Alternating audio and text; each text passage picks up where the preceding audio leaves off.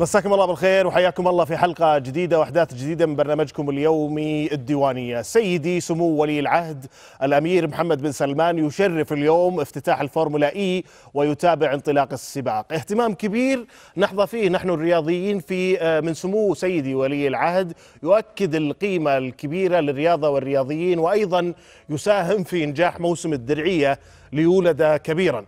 هذه المساهمة أو المساهمة لم تكن مقتصرة على الحضور بل أيضا على مستوى التخطيط والدعم المالي وبناء استراتيجية رياضية وبنى تحتية جاذبة ومنافسة لأبرز المنشآت الرياضية في العالم واستقطاب العالميين في كل الألعاب. حضور سمو سيدي ولي العهد رسالة عميقة لصناع الرياضة في المملكة مفادها أني داعم ومشارك ومتطلع ومهتم لأن تكون الرياضة السعودية دائما في المقدمة وأننا قادرين على استضافة أكبر المحافل الرياضية العالمية. وقبل البداية يسعدنا تواصلكم معنا عبر منصات مواقع التواصل الاجتماعي في تويتر وأيضا عبر حساب القنوات السعودية الرياضية للاطلاع على آخر أخبار الدوري السعودي ويسعدنا أيضا مشاركتكم معنا في هاشتاج الدورية واللي ظاهر دائما معك أسفل الشاشة. ضيوفي في حلقة اليوم واللي أسعد بوجودهم معي في الحلقة أبدأ بالكابتن والنجم محمد الدبيخي. أيضا الكابتن والنجم خميس الزهراني الأستاذ حسين الفالح الدكتور محمد الناصر الأستاذ سالم الأحمدي والأستاذ سالم بسام الحياني. مساكم الله بالخير يا جماعة. حياكم الله معي اليوم في الحلقة. سعيد بوجودكم. إحنا دائما نبدأ الحلقة بالأخبار آخر الأخبار في برنامج الدولي. سمو ولي العهد يشهد انطلاقة الجولة الافتتاحية لبطولة اي بي بي فورمولا اي للسيارات الكهربائية في دورتها الثانية بالمملكة. في مدينة الدرعية. وتوج سمو رئيس الهيئة العامة للرياضة الأمير عبد العزيز بن تركي الفيصل الفائزين في اليوم الأول من منافسات فورمولا إي الدرعية. رفع سمو رئيس مجلس إدارة الهيئة العامة للرياضة خالص الشكر والتقدير لسمو ولي العهد صاحب السمو الملكي الأمير محمد بن سلمان بن عبد العزيز على تشريفه حفظه الله لسباق فورمولا إي في افتتاح فعاليات موسم الدرعية. أجرى الهلال مرانه الرئيسية اليوم في طوكيو قبل أن يغادر إلى سايتاما اليابانية استعدادا للقاء أوراوا الياباني بعد غد الأحد في إياب نهائي دوري أبطال آسيا 2019 تستكمل مباريات الجولة العاشرة غدا بلقاءين حيث يستضيف ضمك فريق التعاون في ملعب مدينة الأمير سلطان بن عبد العزيز بالمحالة فيما يحل الفيصلي ضيفا على الأهلي في ملعب الجوهرة بجدة. يدشن المنتخب السعودي الأول لكرة السلة. غدا السبت مشاركته في البطولة الخليجية السادسة عشرة لكرة السلة أمام المستضيف الكويت عند الساعة السابعة مساء في مواجهة الافتتاح.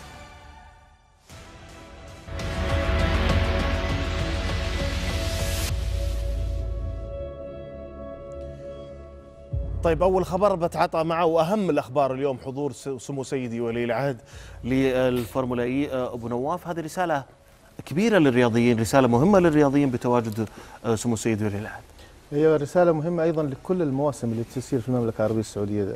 وجود ولي العهد وتشريفه الحفل اليوم وسباق الفورمولا هي دعم للرياضيين دعم للمؤسسات الرياضية اللي صحيح. موجودة.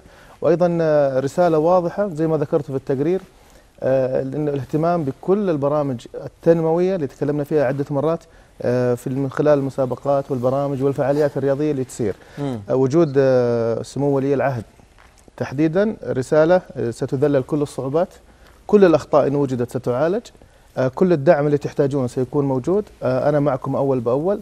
اهتمام بشريحة مهمة جدا من الرياضيين اللي تعني بالشباب. وبشريحة جدا الشريحة مختلفة تماما تختلف عن كرة القدم. نعم. في خلط عند الناس كثير إنه لما نتكلم عن الرياضة إنها فقط هي كرة قدم. صحيح. الرياضة عدة وسائل عدة ألعاب عدة مناحي متعددة. الفورمولا تجد لها جمهور مختلف لها قوانين أنظمة. الكثير منا ما يعرفها. بالتالي حقيقة هي امتداد للدعم الحكومي لوسائل للترفيه للشباب لاحتياجات الشباب. لكل المناحي ومناشط الحياة اليومية اللي يحتاجها المجتمع السعودي. حتى للمشاركين أبو نواف اليوم رسالة طبعا. لهم عن اهتمام الرجل الثاني بهذه الرياضة وبصناعة رياضة مختلفة. صحيح وأيضا من خلال الضيوف. أنا شفت اليوم في, في الأخبار حتى آه ولي عهد البحرين كان موجود. نعم. أسماء كبيرة في على مستوى المجتمع السياسي وموجودة. فرصة ودعم قوي جدا. وأيضا رسالة إنه نرحب بالعالم في في هذا في هذا البلد آه، اللي هو قبلة المسلمين. وأيضا وجهة كل العالم بحول الله. نعم.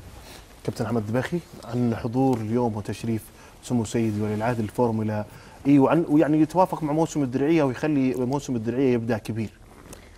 بدون شك آه، لما يحضر سمو ولي العهد آه، في المناشط سواء كانت رياضية أو حتى اقتصادية أو غيرها من المناشط اللي تقام فهذا يعطي طبعا محفز كبير لنفس المنتج اللي اللي هو اللي نتحدث عنه اليوم مم. موسم الدرعية.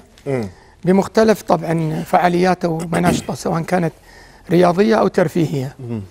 آه، أضف إلى ذلك آه، زي ما قلت لك وقلناه سابقا ومن الموسم الماضي في متغير كبير جدا في الساحة السعودية على المستوى الاجتماعي والرياضي والثقافي والترفيهي والمجتمعي بصفة عامة. مم.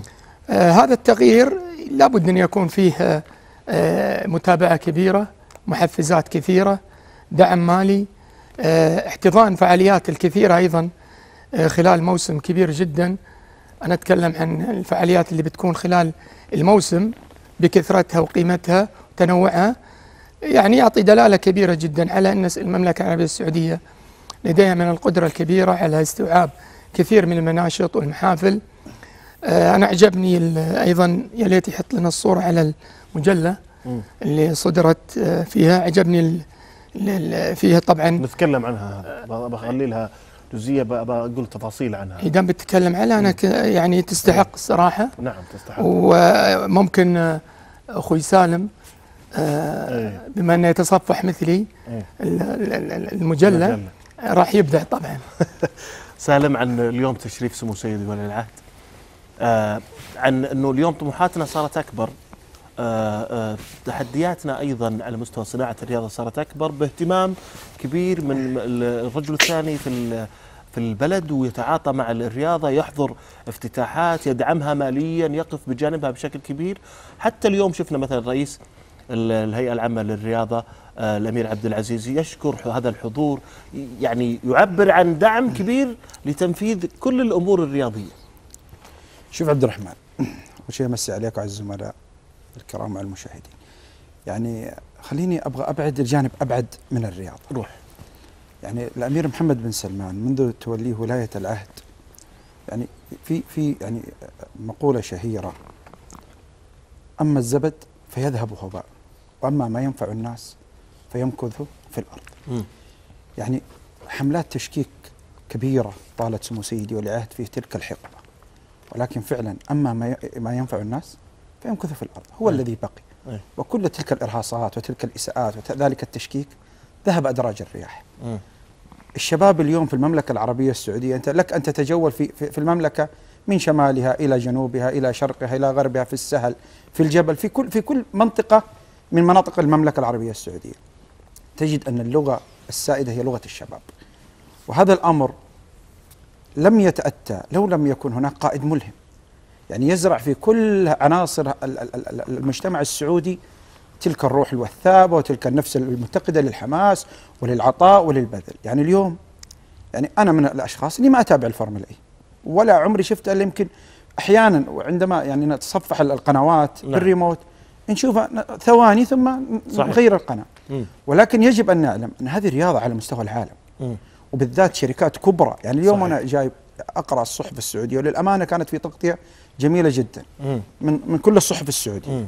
حول هذا الحدث العالمي الكبير عندما تشاهد هذا الحدث العالمي الكبير وهذه الأسماء الكبيرة على مستوى العالم يعني أنا ما أعرف الفرنسي فيرن مثلا الذي حاز على البطولتين السابقتين ويشارك للمرة الثالثة وقد يحرز اللقب. صحيح. يعني هذه أسماء كبيرة عالمية تأتي للمملكة العربية السعودية من أجل المشاركة في هذا الحدث العالمي الكبير. يعني بعض المهتمين في كرة القدم يقول لك أنا مالي في الفورمولا أنت ما أنت مالك. صح. وأنا ما لي علاقة بالفورمولا إي. ولكن هناك شريحة على مستوى العالم بمئات الملايين اليوم كانت أنظارها تتجه صح صوب الدرعية. وإذ بهم يتفاجؤون بالرجل الثاني في الدولة يكون متواجد وبين الناس وبطريقة سلسة وسهلة ومعه بعض الشخصيات من دول مجلس التعاون الخليجي في مقدمتهم سمو, سي... سمو ولي عهد مملكة البحرين الأستاذ مرزوق الغانم رئيس مجلس الأمة الكويتي. عندما تأتي مثل هذه الشخصيات لهذا الحدث الرياضي الكبير المعنى به شباب فبالتالي أنت تطمن على مستقبل الشباب. نعم. يعني بعيدا عن الرياضات وعن الأنشطة وعن الفعاليات التي تقام نحن الآن في مرحلة جديدة على الجميع أن يتقبلها. مم. هذه المرحلة يعنى بها بالدرجة الأولى شباب هذا الوطن. إحنا يجب أن نستثمر في هذه الطاقات. المملكة لديها إمكانيات بشرية هائلة. متى ما وضعنا الثقة فيها أعتقد س س س ستكون المملكة أنا أتوقع بإذن الله تعالى في العشر سنوات المقبلة في مصاف الدول العالمية ولكن يجب أن نهتم بالشباب ونرعى الشباب وهذا ما نشاهده من الدعم الكبير التي الذي يجد هذه الفئة من سمو ولي العهد. وخادم الحرمين الشريفين والحكومة بشكل عام. ليه؟ الآن ال ال ال لو لو نأخذها لعبة لعبة ترى حنتبحر في الحديث. نعم. اليوم فورمولا اي المصارعة الملاكمة الاسكواش المبارزة كل الرياضيات الرياضات على مستوى الألعاب العالمية والآسيوية ترى موجودة في المملكة العربية السعودية. سلام وأنا كل مرة أعيدها من ثلاث سنوات. السعودية فعلا باتت الوجهة الرياضية الأولى شاء من شاء وأبى من أبى. عليهم أن يتقبلوا أن المملكة أصبحت هي البيئة الجاذبة لكل هذه الرياضات. ولكن ما زلت أؤكد ويجب أن أؤكد أن يجب أن نستثمر هذه التظاهرات التي تقام لدينا.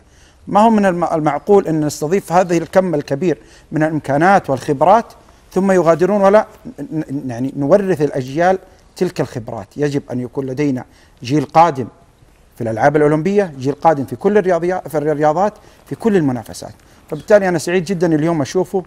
الفعاليات متواصلة. لسه إحنا عندنا ألعاب وبطولات ويعني احتفالات كثيرة جدا في مجال الرياضة وأعتقد أن نعيش في أزهى عصورنا الرياضية. نعم.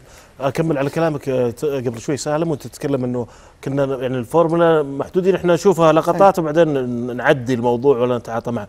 اليوم إحنا حتى في الإعلام الرياضي نتثقف رياضيا في كل هذه ال- المناشط الموجودة على الاتحاد على المبارزة على السكواش على التنس على الفورمولا. إحنا صرنا نتابع لأنها عندنا موجودة في أرض المملكة العربية السعودية.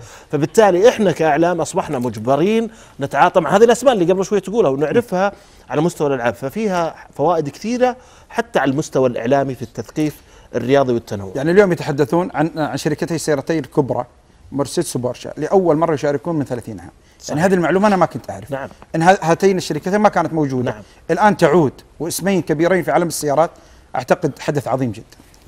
حسين الفالح آه، طبعا آه، حضور سمو سيدي ولي العهد للفورمولا إي واهتمامه الشخصي بالمناسبة آه، يؤكد آه، ال- ال- المقولة الشهيرة لسمو سيدي ولي العهد إنه همتنا آه، تساوي يعني تساوي جبل طويق نعم. آه، والسلوغن اللي آه، موجود في اليوم الوطني والسلوغن الجميل اللي هو آه، همة حتى القمة. آه هذه الهمم لابد إنها آه تزرع في نفوس الشباب سواء الموجودين في الدرعية أو آه اللي يشاهدون اهتمام سمو سيدي ولي العهد بالفورمولا. حضوره الشخصي رسالة مباشرة للشباب إنه اجعلوا همتكم عالية آه بلدكم وصل إلى ال- العالم آه ككل طبعا الاهتمام بالدرعية هي هدفا تطويريا لرؤية 2030 صحيح. باعتبارها يعني عاصمة تاريخية وعاصمة استثنائية. نعم. آه، ستوجه الأنظار للدرعية. ب- بالمناشط هذه المتعددة مناشط الفورمولا إي المناشط المصارعة المناشط الاجتماعية آه، زي ما ذكرنا بالأمس أنه آه، شركات كبرى سترعى ال- ال- ال- هذه المناشط. نعم. آه، شركات عالمية سترعى وجود بورش ومرسيدس لأول مرة. مم. اهتمام ولي العهد انعكس على ال- الحضور ال- ال- السياسي الكبير. سيف بن زايد آه، الشيخ سيف بن زايد حاضر آه، رئيس مجلس الأمة حاضر ولي عهد البحرين حاضر وشخصيات أخرى كبيرة حضرت آه، للدرعية وشخصيات عالمية حضرت أيضا للدرعية وهذا يؤكد آه، أنه الأنظار اتجهت للدرعية بشكل كبير وإن شاء الله نجد ال ال ال يعني ال الأنظار تتجه إلى كل مدن ال- ال- السعودية. آه، بدون استثناء. وهذا الاهتمام الكبير اللي نجده من خادم الحرمين الشريفين آه، الملك سلمان حفظه الله وسمو سيدي ولي العهد. آه، اهتمامهم بكل المدن صغيرة وكبيرة. خادم الحرمين الشريفين آه، حفظه الله كان يعني له مقولة شهيرة أنه هدفي الأول أن تكون بلادنا نموذجا ناجحا ورائدا في العالم. نعم. في كافة الأصعدة. صحيح. ما كانت مقتصرة يعني على صع- صعيد معين نعم. في كافة الأصعدة. فهذا اللي نشاهده اليوم رياضيا واجتماعيا وثقافيا واقتصاديا. ال- ال- المملكة العربية السعودية أصبحت نموذجا آه، صراحة يحتذى فيه بكل ال- المناشئ. نعم. دكتور آه، اليوم حتى مثلا على مستوى هيئة الرياضة وجود اليوم آه، سيدي سمو ولي العهد على الافتتاح اليوم نشوف حتى صح ال- الأمير عبد العزيز يتحرك ب- بنشاط كبير وبتنوع كبير في هذه في هيئة الرياضة من خلال الرياضة تحديدا. إحنا زي ما قلنا ان دائما نتكلم على على أنه كرة قدم. اليوم الرياضة باتت متنوعة. آه، حتى إحنا كإعلام أصبحنا مجبرين حتى على التعاطي مع مع مع هذه الأنشطة الموجودة والتثا يعني أخذ كثير من المعلومات عنها. صحيح. طبعا خليني في البداية أتكلم عن آه، زيارة سمو سيدي ولي العهد اليوم. اليوم يمكن لو لاحظت حتى في وسائل التواصل وهو يعني امتداد لكلام الزميل سالم ال ال ال ال ال الهمة الشبابية والإلهام لسمو سيدي ولي العهد على جميع الأصعدة، الآن خلينا نتكلم آه، يعني بمعزل عن موسم الدرعية أو حتى النشاطات الرياضية ونشاط هيئة الرياضة. اليوم كان كرنفال وطني في وسائل التواصل صور سمو ولي العهد الاحتفاء بمقدمه على جميع ال ال ال ال ال يعني ال- الأصعدة من جميع ال- الجماهير المتابعة المهتمة دائما في الشأن الرياضي، إذا تكلم دائما عن الرياضة في المملكة العربية السعودية أنت تتكلم عن شريحة كبيرة جدا، تتكلم كذلك عن الشباب اللي يشكلون تقريبا 70% من سكان المملكة. هذا يعني كانت الزياره رسالة إيجابية جميلة. خليني أقول لك كان فيها رسائل كثيرة آه، يعني آه، عكستها وسائل التواصل. ودائما مثل هذه الأشياء دائما تصنع تصنع يعني آه، بإرادة شعبية آه، يكون لها احتفاء وتفاعل. غير مرتب له يعني الجميع تفاجأ بوجود سمو سيدي ولي العهد الجميع احتفى فيها إلى أن صارت ترند حتى في تويتر ووسائل التواصل. هذا هذا بالنسبة للزيارة بالنسبة كذلك لارتباط اسم الدرعية. خليني أخذها برضو من جانب آه، تاريخي لما تتكلم عن الدرعية و واسم الدرعية على على تاريخ الدولة السعودية وت- وتجد فيها اليوم القيادة ممثلة بسمو سيدي ولي العهد القيادة الشابه هنا كذلك مزج جميل بين بين عراقة السعودية تاريخ السعودية وبين القيادة الشابه ال- ال- القادمة. كل الأمور هذه كانت فيها رسائل جميلة جدا. بالنسبة للي تفضلت فيه سمو رئيس الهيئة حتى اليوم برضو قبل آه، آه، تابعت لقاء له في أحد ال- القنوات وكان يتكلم باهتمام بالغ عن عن الحرص على تعدد الرياضات إلى درجة إنه يعني حتى كنا إحنا كرياضيين أو متابعين كرة القدم كنا نتكلم عن تفقد الأرضية ال- ال- ملعب الأمير فيصل بن فهد. شفتوا اليوم كذلك يتفقد أرضية الفورمولا وكان نعم. تكلم في جزئيات طبعا هو ابن اللعبة هو بطل من أحد أبطالها كل الجزئيات البسيطة ذي ترى من السهل عبد الرحمن إن القائد يتكلم بناء على تقارير ترفع له. من السهل إنه يتكلم وخلال نبرة الكلام والأرقام والتفاصيل هذه. أنت تعرف هذا القائد مطلع على كل شيء رجل ميدان موجود في الميدان ويعرف كل شيء. نعم. أعتقد إنه ال- القيادة أولت ال- ال- ال- الاهتمام كبير لما تكلم الان عن سمو سوي ولي العهد. إحنا نتكلم برضو حتى على مستوى كرة القدم دعم الأندية الدعم اللا مسبوق اللي إحنا قاعدين نشوفه. وكذلك لما نجي الآن ونشارك في بعض ال- المواسم وحتى آه، تشرف بزيارته لا شك إنه تتويج الجهد برضو سمو رئيس ال- الهيئة اللي قاعد برضو يبذل على جميع الأصعدة ويعطي كل الألعاب الاهتمام اللي تستحق. بسام؟ بداية أنا أخوي عبد الرحمن لا شك أنه مثل هذا الدعم أو هذا الحضور يعني أمر محفز للرياضيين بشكل بشكل عام. ال- اليوم اللي حصل حدث عالمي هو حضور الأمير محمد بن سلمان. لوحده هذا حدث. صحيح. يضاف إلى الحدث العالمي الموجود اللي هو الفورمولا إي. لا شك أنها رسالة مهمة آه، للرياضيين آه، في الدعم آه، وال يعني ال- المتابعة. آه، في أمر مهم أنا أشوفه م- من ناحية ثانية أخوي عبد الرحمن اليوم تحدث عن ألعاب في موسم الدرعية. آه، يعني بكل صراحة ما هي مسلط عليها الضوء بشكل كبير ولا هي ممارسة عندنا بشكل كبير عندنا في المجتمع. آه هذه الألعاب تتكلم عن فورمولا إي تتكلم عن فروس فروسية أكيد ان لنا مجال فيها الملاكمه التنس هذه آه لها هدف كبير وأسمى في الرؤية اللي هو رفع نسبة الممارسين للرياضة. صحيح. يعني اليوم آه، أتحدث عن آه اللعبة الشعبية الأولى كرة القدم. لكن هل كل ال- ال- ال- المواطنين يمارسون هذه اللعبة؟ هناك ألعاب أخرى تستحق الاهتمام. وبالتالي هذه أعتقد إنها مساهمة أو آه، آه، يعني مبادرة آه، تصب في تحقيق هذا الهدف اللي هو رفع نسبة الممارسين للرياضة. اهتمام مهم وكبير من القيادة الرشيدة لهذه ال- لهذا ال- ال- ال- ال- الألعاب اللي تم افتتاحها اليوم أو اللعبه اللي افتتحها اليوم اللي هي الفورمولا إي. وإن شاء الله بإذن الله إن نشوف بإذن الله هذه هذه المكاسب اللي حصلنا عليها مثل ما تفضل تفضل الأخ خميس الحلقة الماضية ذكر إنه عندنا أصول أصول اللي الآن بقت عندنا ملاعب ال- الم- المضمار ال- ال- الفورمولا إي إحنا نجلس ثمانية سنوات ننظم ال- الفورمولا إي صحيح. وبالتالي هذا حيكون مكسب لنا على مستوى آه، بعيد للشباب وبإذن الله إنه نخرج أبطال في هذه الألعاب. إلى 2028 إحنا حننظم. اليوم شدني صورة اي قول. مع كل الحضور. أيوه. شدني صورة مميزة جميلة الامير تركي الفيصل. إيه. كان موجود وحاضر متصور مع أحد الإعلاميين. إيه. فكانت صورة جدا جدا معبره قاعد يتفرج ويناظر من بعيد. مرتاح الرجل. فكان الحقيقة من الشخصيات اللي ما سلط عليها الضوء إيه. لكن الحقيقة بالنسبة لي كانت جميل جدا. ال- دائماً الأمير تركي حريص. إيه، الأمير تركي متعود على الفورمولا لا، كان موجود اليوم لكن ما سلط عليها الضوء. كان مع أبو تركي يعني يتابع. طيب أيضا هيئة الرياضة يعني بمناسبة موسم الدرعية أصدرت هذه المجلة حقيقة مجلة مميزة آه، بس نستعرضها يا شباب. طبعا هذه هي الم- المجلة الدرعية هنا العالم. آه، إخراج كل التفاصيل اللي موجودة على مستوى المجلة عمل حقيقة مميز. هذه المجلة كانت طبعا بإشراف الدكتور رجل السلمي آه، آه، نوف آه، بنت خالد وأيضا آه، فريق عمل سعودي أدار هذه المجلة فريق عمل سعودي برئاسة زميلنا وناقدنا في برنامج الديوانية الأستاذ حسين الشريف وأيضا مع كان مع الزملاء فلاح الحربي وهو المخرج والمصمم وأيضا خالد الجار الله حقيقة في فيها كثير من المعلومات والتفاصيل عن آه، آه، موسم الدرعية وعن الرياضة أو الأنشطة اللي موجودة في موسم الدرعية.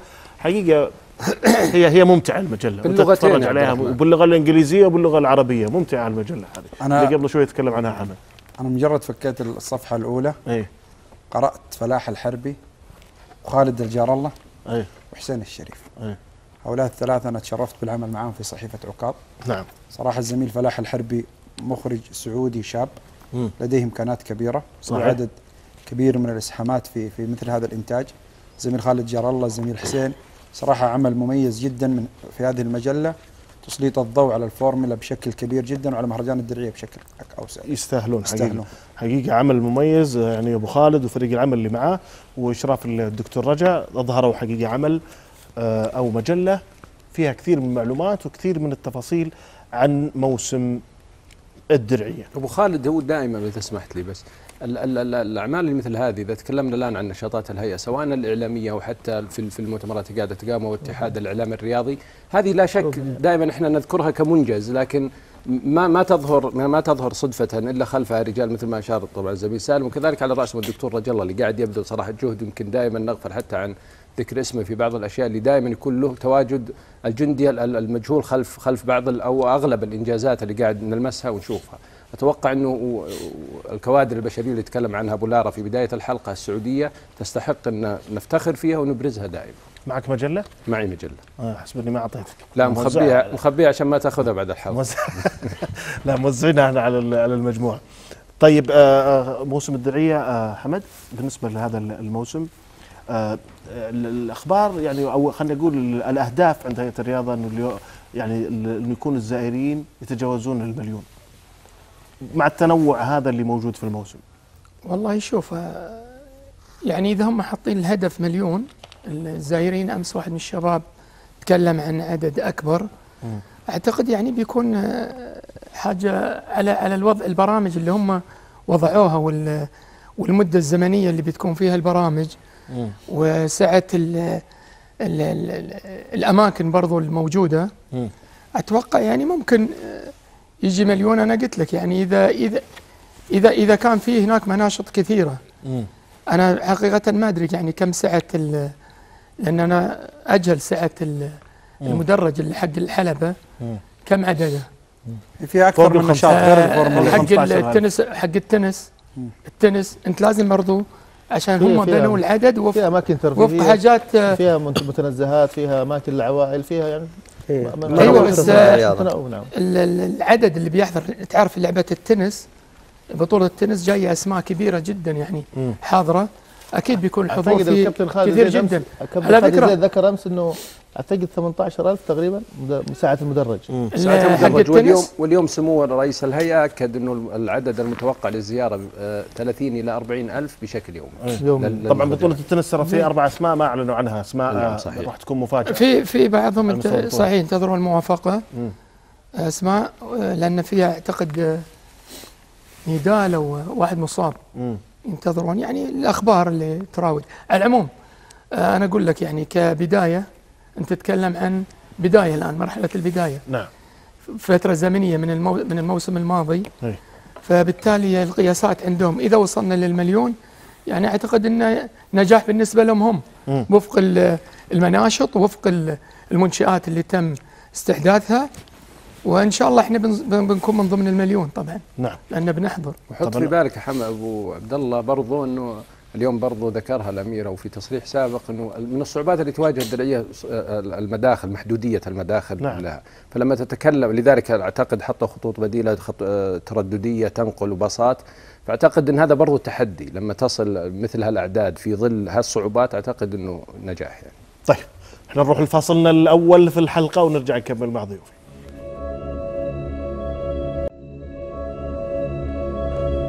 يا هلا ومرحبا فيكم مرة أخرى في برنامج الديوانية اليوم أقيمت ثلاث مباريات من الجولة العاشرة لدوري كأس الأمير محمد بن سلمان للمحترفين. في البداية أبها انتصر على الفتح بثلاثية مقابل هدف وأيضا في الرس كسب الرائد فريق الحزم بثلاثية بثلاثة أهداف مقابل هدفين. وفي الرياض خسر الشباب من الفيحة بهدف نظيف.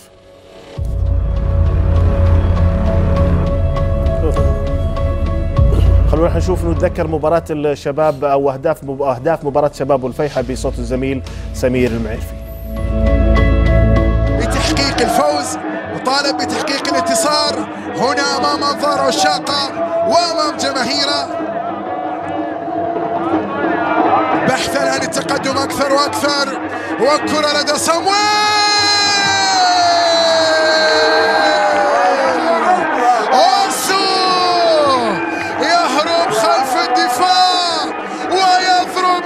مرمى الشباب صامويل اوسو في لقطة مخادعة. ومع الدقيقة 60 يصل إلى مرمى الليث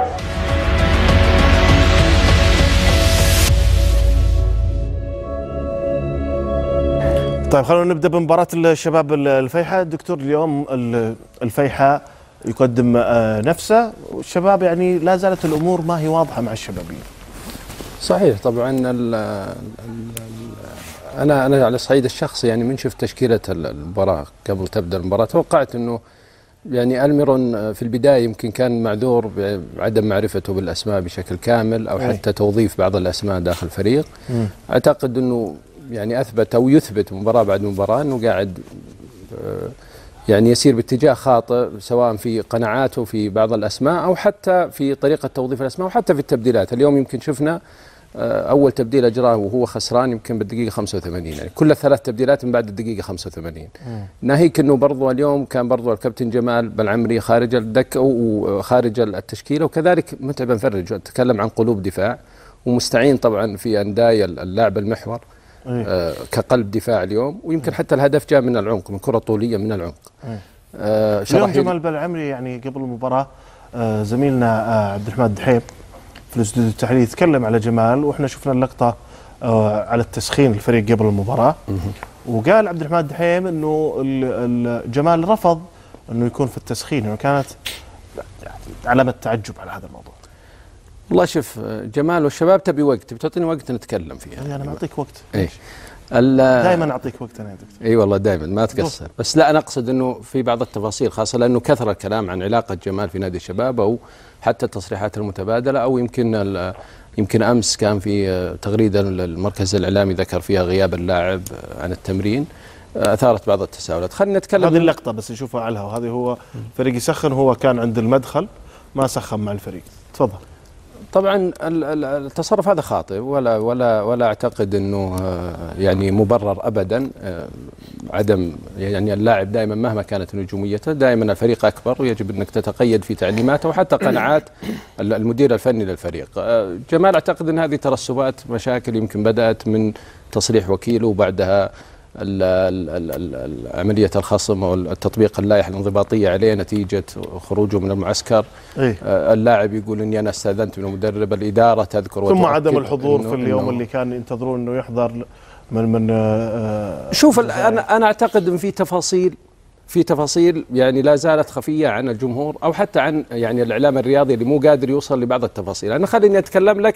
أنا يعني من من آه، سمعت من جمال وسمعت من الإدارة الشبابية. أنت سمعت من جمال؟ سمعت من جمال وسمعت من الإدارة إيش قال الشبابية جمال؟ على أساس إني أكون منصف، إيه. طبعا ال- الخروج من المعسكر هذا خطأ وهذا ارتكبه جمال وتم التطبيق عليها اللائحة ال- ال- الشبابية من قبل الإدارة. أي مباراة كانت؟ مباراة ال- الساورة الجزائري في في صحيح. البطولة العربية ليش هو خرج؟ هو طبعا آه، حسب رواية اللاعب إنه ذكر له المدرب ليلة المباراة إنه ما راح يكون آه، مم. أساسي في مباراة الغد فقال له أنا خلاص بطلع من المعسكر وطلع من المعسكر.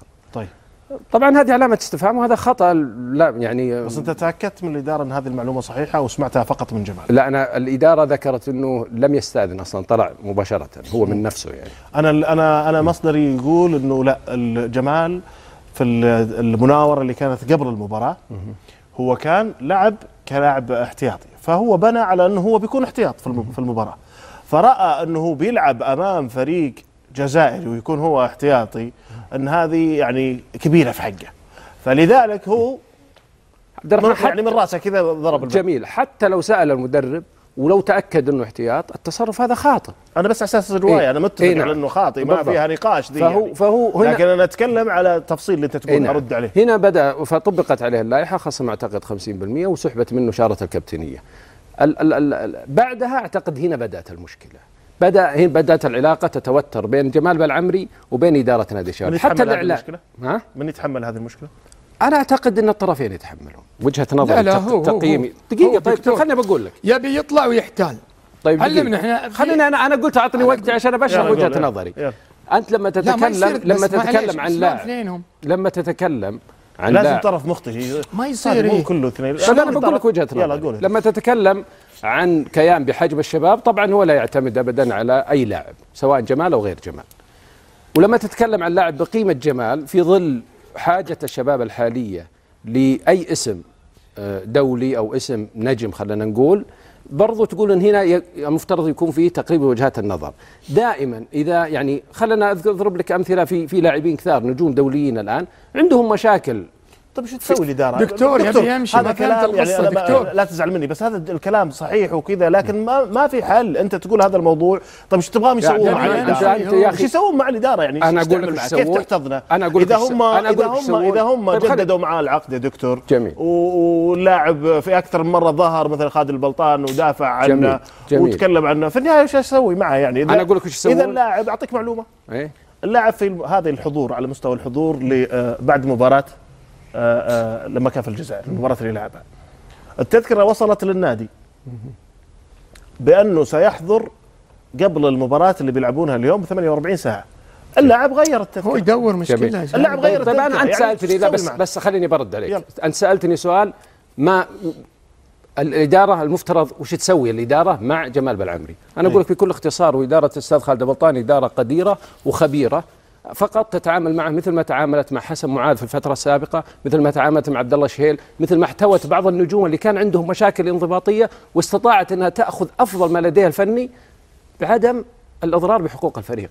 أنت لما تكون يعني حتى أنا أمس تكلمت عنها أو ذكرتها في تغريدة، التحدي الحقيقي إنك تحتوي ال- ال- ال- المشكلة يعني اولا التصريح فيها في الإعلان هذا خطأ. تقييمي كيف احتري أحتوي يا دكتور؟ شو أسوي يعني؟ إذا الرجال أنا قلت لك أنا يا في أخي في في- في معسكر وطلع. وتذكرة أنا ابغاه يعني في في يوم أنا أبغاه يوصل فيه ما وصل. كذا كذا مشكلة يعني. طيب أمس- أمس الموضوع جمال ما وصل. تسخين أمس هو جمال ما وصل يعني. عبد الرحمن. آه، كيف أتعامل معه؟ عبد الرحمن ترى أنا لا تحطني في مقام المدافع عن جمال. لا لا أنا أنا أقول لك أنا جمال أخطأ. نقاطك بس. طيب أن أمس لما تتكلم الآن عن لاعب متأخر جميل خلينا نتكلم. البلايلي آه، الأهلي وصل بعد جمال أمس. فاروق مصطفى وصل مع جمال أو بعد جمال. يعني كل الأمور هذه دائما تحصل. خليني أقول لك أمس الشباب يحتفي باللاعب كماتشو موجود في في الشباب زائر النادي. كماتشو كان عنده مشكلة دائما في النيو يير على إدارة خالد البلطان. في فترة إدارة الأستاذ خالد البلطان السابقة ومع ذلك الإدارة الخبيرة بقيادة الأستاذ خالد البلطان استطاعت أن تحتوي هالمشكلة وتستفيد وتأخذ أفضل ما لدى ال- الكابتن. كماتشو. أنت دائما تطبق اللائحة لكن كل من أخطأ تبي ت- يعني تسير هو إلى يبي قطع خليني ما أكمل يا حمد. خليني يرحمه. ما يقدر يحتويه هو يبي يمشي. لا لا لا بوصل لا, لك لا. فكرة والله شوف إذا لاعب يبي يمشي بيخلق لك كل يوم مشكلة. أنت عندك معلومة أنه تحتوي؟ بيمشي؟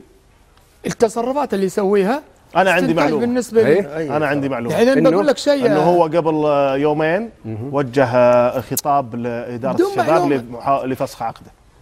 طيب. ليش وجه الخطاب ذا؟ أنا أتكلم أنا وش قلت لك؟ أنا قلت لك المشكلة متراكمة، ترى أنا لا أنا أنا مع إدارة الشباب في تطبيق اللائحة وزرع الانضباط، لكن أنا أقول لما كل لاعب عندك نجم تحصل عنده مشكلة تبي تخسره أنت كذا ما راح تبني فريق، يا أخي خلينا نتكلم الآن عندك عمر السومه كان عنده مشاكل مع الأهلي، عبد الرزاق حمد الله عنده مشاكل مع النصر.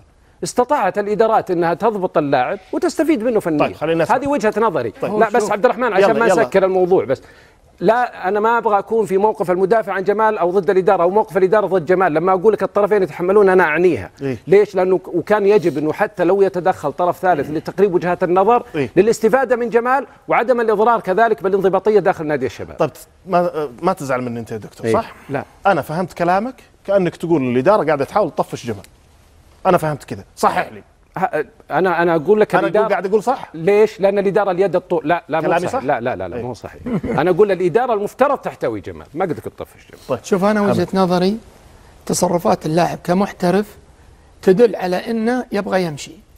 فكل ما لا يخلق مشكلة أنت ما تقدر تحتويه. يدل على إنه غير محترف. أيوه شوف آه، دكتور أنا ليش قاطعك لأن أنا بعطيك الزبدة من الآخر تصرفات اللاعبين إحنا لاعبين عشناها. كان في لاعبين سويتها ما يعني؟ يبون يروحون. هذا ما عمره ست- أنت تقول عشناها. يا أخي مو فاضي لك الحين خلنا تقول. عشناها يا حمد. أنا خلنا نكمل أنا طيب. عشان المشاهد ما يفهم خطأ أنك أنت سويت الحركات هذه رد عليه طيب لا إيه، تقول برد عشناها قول تقول شفناها. في الأندية مثلا. مثلا إحنا كنا بعطي مثال مع. بعض الزملاء يعني لا لا في الفريق عندنا بعض الشباب. ما يبي يروح مباراة الطائي في الشتاء برد هايل إيه. فعنده حالتين يا ياخذ كرت إذا كان عنده اثنين أنا أكلمك الحين ترى تصير يعني لا تفتكرون ملاك أو يدعي لي إصابة. حلو. لأن تروح هايل يلا تسخن. برد برد ما يبغوا يلعبون. على العموم أنا استشف من جمال إنه يبغى يمشي. ويبغى يمشي بيضغط على الإدارة عشان يطلعهم في الصورة إنهم ما احتووه زي ما قال الدكتور الآن أو إنهم غلطانين وإن اللاعب فوق فوق فوق نادي الشباب. لا مو بصحيح. إذا اللاعب مزعج بهذا القيمة لا والله. الحق مع الإدارة ونقول لهم اثبتوا على ما أنتم عليه ولو يخسر الفريق ولا يفوز هذا شيء ثاني. اي أنت انت تقول آه، د- آه، كابتن حمد الآن لما تتكلم الآن عن اللاعبين اللي ما يبغى يروح الحايل هو أو, نفسه. أو ما يبغى يروح. هو أو ما يبغى دكتور كم مشكلة الآن؟ أنا فاهم، فاهم قصدي. أنا الآن أنا من مشاكل لا- لحظة. واحد إيش يطلع من المعسكر؟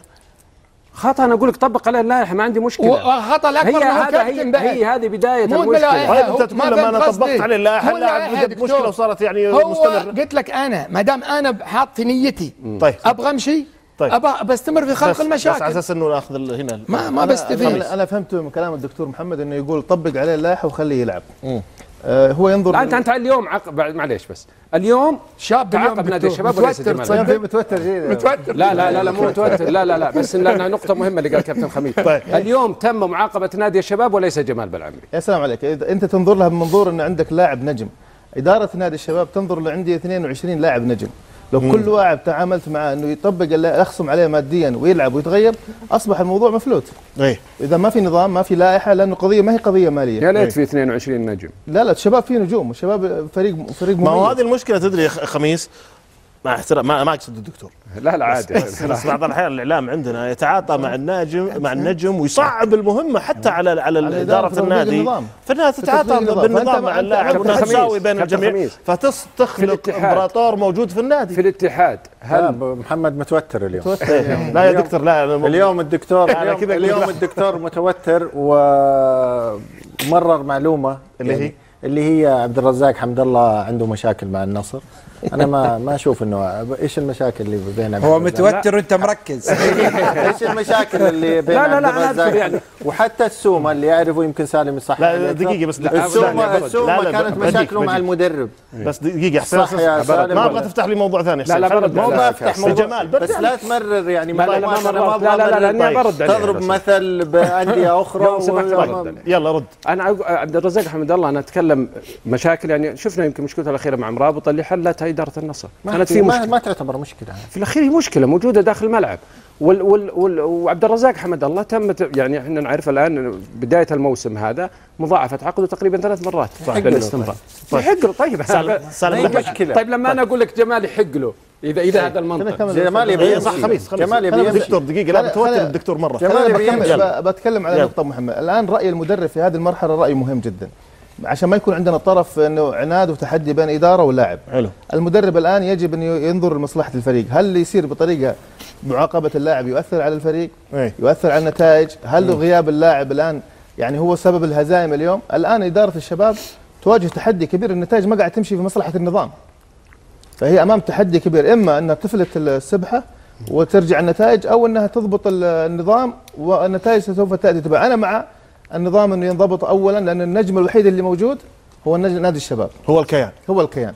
النقطة الأخيرة إيه، اللي قول. بقولها نادي الشباب وإدارته؟ عندهم مرحلتين. مرحلة النادي وحفاظ على حقوقه. إذا استمر الوضع هذا آه، مستقبلا سيكون عندهم مشكلة الفريق وأهمية وأولويات الفريق. فهم الآن إما يحافظون على اللاعب وتنتهي المشكلة أو يحافظون على مصلحة النادي. في جلب عرض أو بيع فسخ, عقد اللاعب أو ت- أو إعارته أو شيء.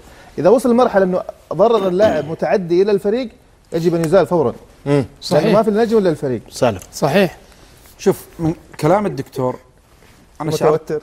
لا ما ما متوتر. لا كلام الدكتور أنا يعني أنا ك- كنت كمشاهد هنا. إيه كلام الدكتور كأنه يلقي باللائمة يعني السواد خلينا نقول النسبة الأكبر على الإدارة. إيه وكلامك أنت حسب المعلومات اللي عندك تلقي باللائمة على اللاعب.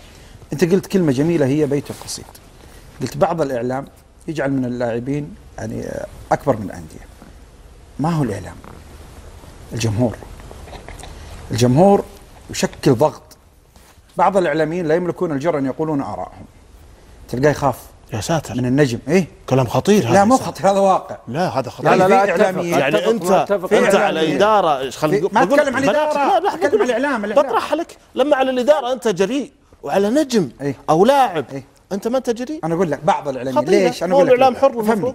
فهمني؟ بعض الإعلاميين يخشون من ردة فعل الجمهور. الجمهور يخاف. وسائل التواصل الاجتماعي عرت كثير من الإعلاميين. وليجي يتدخل مشجع ذاك اليوم يقول عرت ما عرت عرت اقصد بالرأي نعم. في آرائهم. ف ف الإعلاميين يخشون من ردات الفعل. يعني في كل الأندية في نجم في أيقونة لكل نادي. حلو. من الصعب المساس بهذا النجم. إيه. خلينا نأخذ حالة جمال بالعمري الآن. ممتاز. جمال بالعمري أنا سمعت رواية من الدكتور وسمعت رواية منك. متناقضتين الروايتين. ولكن بكل أمانة وأتمنى أن يتقبل صدر جمال بالعمري له. أنا قلتها زمان عن كذا لاعب وأقول اليوم عن جمال بالعمري ترى الشباب أكبر منك. الشباب كنادي ككيان عظيم يعني من 50 60 سنة أكبر من جمال بالعمري ومستحيل سيقف الشباب عليك ترى. مروا عليه نجوم أكبر منك بمراحل شاركوا في مديريات كأس العالم وحققوا إنجازات لمنتخبات آه، أوطانهم والنادي الشباب كأس الكؤوس الأسيوية وحققوا إنجازات عظيمة. فبالتالي مثل هذه السلوكيات تبغى تمشي زي ما ذكر الكابتن حمد؟ أنت ذكرت إنه طلب فسخ العقد على إدارة الشباب تجلس مع اللاعب وتخلص معاه بالطريقة اللي هي تشوف حفاظ على مكتسبات نادي الشباب. ولكن مع كامل الاحترام اليوم هو على دكة البدلاء. ولا يقوم باجراء إجراء عمليات الإحماء. هذا لا يليق. ما ينبغي. أنت مين؟ احترامي وتقديري لشخصه. أنا أكلمك على عملك الآن. أنت إنسان سيء. أنت إنسان ما احترمت الشعار اللي أنت تمثله. يعني جاي الآن جالس لي برا وزملائك يتسخنون ليه؟ عندك خلاف مع الإدارة؟ هذا موضوع ثاني. نعم. حله مع الإدارة. لكن أنت طالما نزلت أرضية الملعب كنت اساسيا ولا احتياطيا؟ لما تقول يا دكتور استبعده في الليل جاله في المعسكر وقال له أنت بكرة ما أنت أساسي. طب انت احتياطي. طبعا في تبرير رسالة ترى المدرب قال انه ايا يكن. لا لا المدرب أنا ما يهمني بس التبرير بقول يا لك التبرير. عبد الرحمن اي أنا لما أكون من ضمن 18 لاعب معك. والمدرب يقول لي أنت احتياطي أقول إيه. له أنا ما أبغى ألعب أنا أنا- أنا البيت في صف هذا الكلام. أطلع من المعسكر. أنا في هذا إن الاتجاه. صحت رواية الدكتور. أنا ما أعرف الروايات على هذه أنا في هذا الاتجاه. تبرير المدرب قال إنه هو مسافر ولاعب مباراة أربع يعني مسافر 14 ساعة ولاعب مباراة فبالتالي أنا ماني حريص على إنه يلعب كل يوم موجود. لكن أيضا مصطفى آه، آه، كان مسافر ووصل ومع ذلك أنا أتحدث في المجمل. للأسف بعض جماهير الأندية هي السبب في وضع إدارات الأندية تحت الضغط. ترى الجمهور ما يدري. قاعد في وسائل التواصل الاجتماعي ويشكك في الإدارات ويشتم الإدارات. ولا يدري إن بعض النجوم يستغلون هذه الضغوطات طيب، اليوم في تصريح للمدرب مدرب الشباب قال لجمال بالعمري ما لعب بسبب الإرهاق. أنا قلت له هذا الكلام. قلت له قال يقول. مسافر بس انه قلت لك مصطفى آه، آه، الحارس مسافر ووصل بعده ولعب. طيب بتفق أنا بس مع سالم في هالجزئية. وجمهور الشباب أنا أعرف جمهور الشباب آه، على المستوى الكروي عندهم يعني هم عندهم فريق كان ممتع. فبالتالي أعتقد جمال آه، مر كثير على الشباب وبيمر كثير على الشباب. فهذه السلوكيات ما تخدمك أنت ولا تقدمك بالصورة الإيجابية لمحترف. كان قدم مستوى فني نعم. لكن ال- العمل الاحترافي أو العمل الفني في الملعب لابد أن يصحبه أيضا سلوك احترافي في التعاطي مع كل التفاصيل. اليوم أيضا كان في تصريح لعبد الملك الخيبري بعد المباراة ورد عليه عبد الكريم القحطاني نتابع التصريح مع الزميل عبد الرحمن الدحين. عرض لك على النتيجة لكن آه، مستواه أتوقع إنه ممتاز جدا يمكن لو شفت آه، لاحظت فرحة فريق الفيحة يعني ما أتوقع السيناريو إنهم يفوزون لكن هذا حال الكرة سي- سيطرنا. جاتهم فرصة كانت وقفة دفاعية غلط واستغلوها وفازوا. دائما متوقعين الفوز. ضد أي أحد. أحد اللاعبين يقول فرحتكم اليوم كانت دليل عدم توقع. لا مو كذا. طعم الفوز حتى لو لو لو بالسوني له طعم. فبغض النظر من كان الخصم طعم الفوز له له, له قيمة عندنا.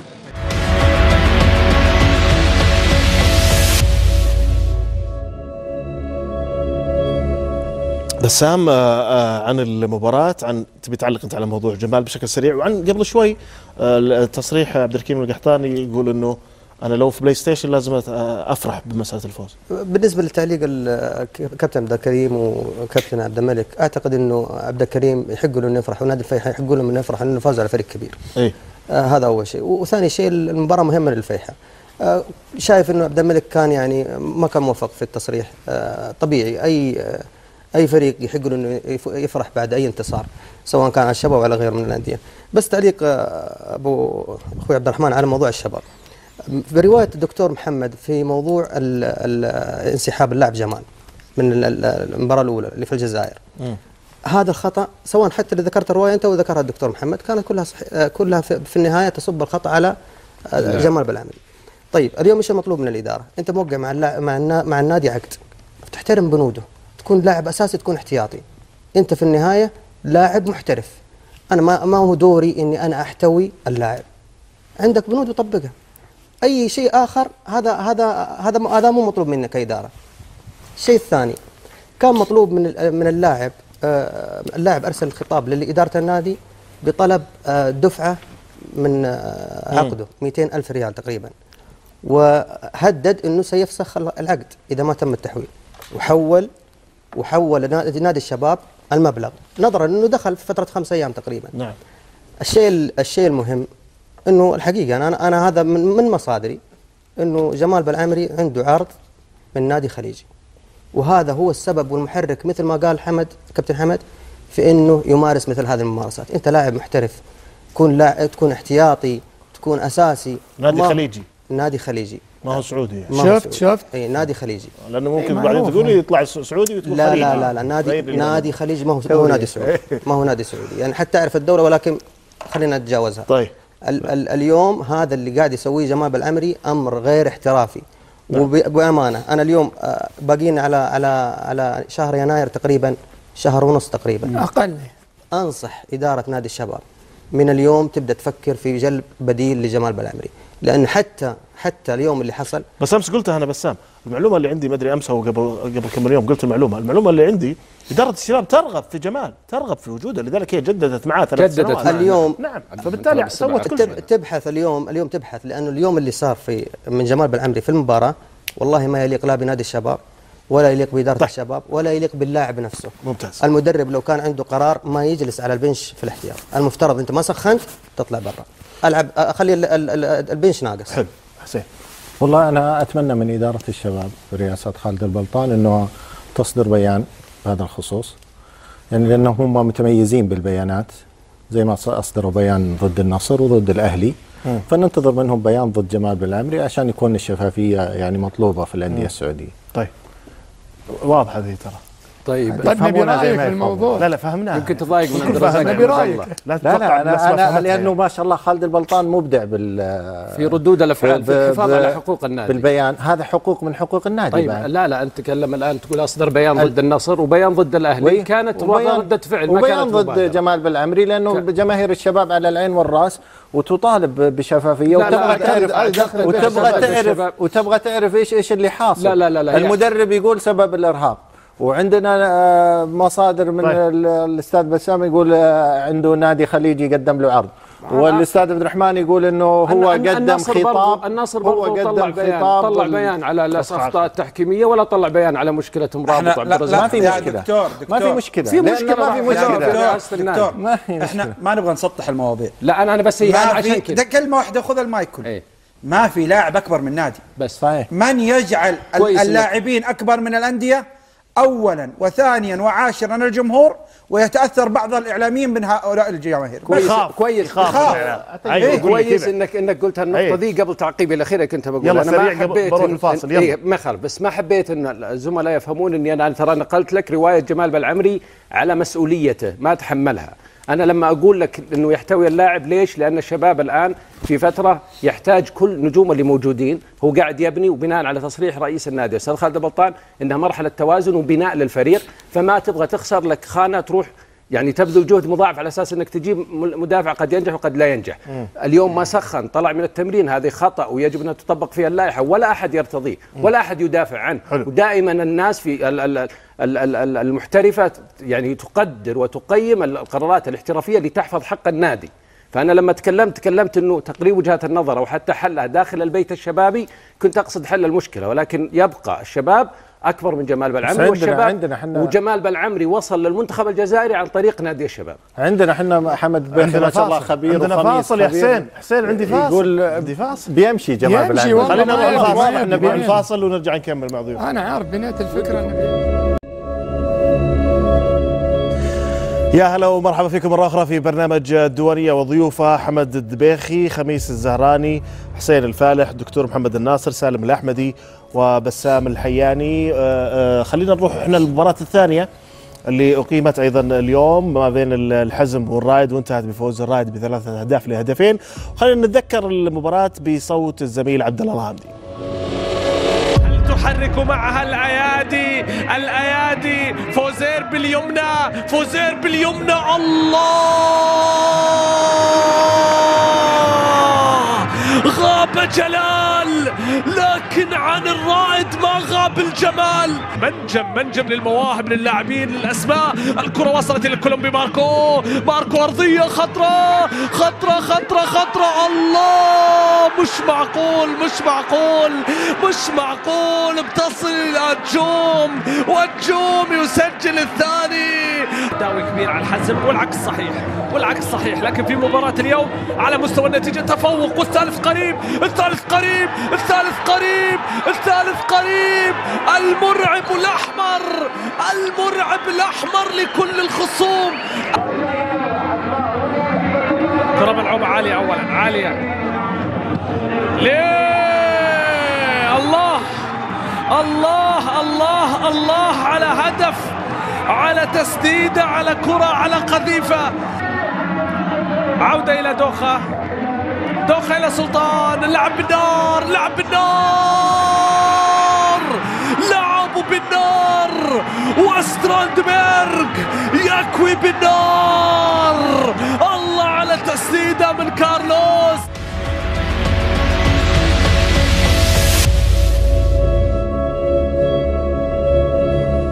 طب خلينا نروح معك كابتن محمد دبيخي المباراة كانت ممتعة و- صحيح. وجميلة ال- آه، الرائد يتفوق على الحزم مباراة جميلة لأنها متكافئة في الطموح والأهداف. دائما المباريات اللي تكون متكافئة عند الفريقين كبيرة. بينهم ينفس ال- تشوف مباراة جميلة. في الثلاث مباريات كانت هي الأفضل. مم. آه، آه، الرائد آه، طبعا سجل مبكر دقيقة تسعة وجات ضربة جزاء لكن أضاعها ال- الحزم وعزز الرائد الصراحة هدفين. برضو تحسب للحزم إنه رجع. يعني من ثلاثة صفر إلى ثلاثة اثنين. آه خمسة أهداف في المباراة وضربة جزاء. مباراة جميلة جدا عجبتني كثير. آه مقارنة في مباراة الفتح وأبها وضمك والشباب أنا أعتقد هذه كانت أجمل مباراة في الجولة. مبروك للرائد. آه، هارد لك الحزم. الحزم ترتيبه يعني مو سيء ترتيبه جيد. وأنا أعتبرها مباراة ست نقاط يعني دائما الفرق المتنافسة اللي لهم طموح واحد مبارياتهم تكون بنظام الست نقاط. مبروك للرائد. آه، فوز آه، جيد بالنسبة لهم. الحزم ما زال فريق قوي. رجعته أيضا آه، من 3-0 إلى 3-2 تحسب له. طيب.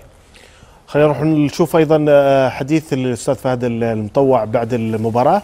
ونرجع.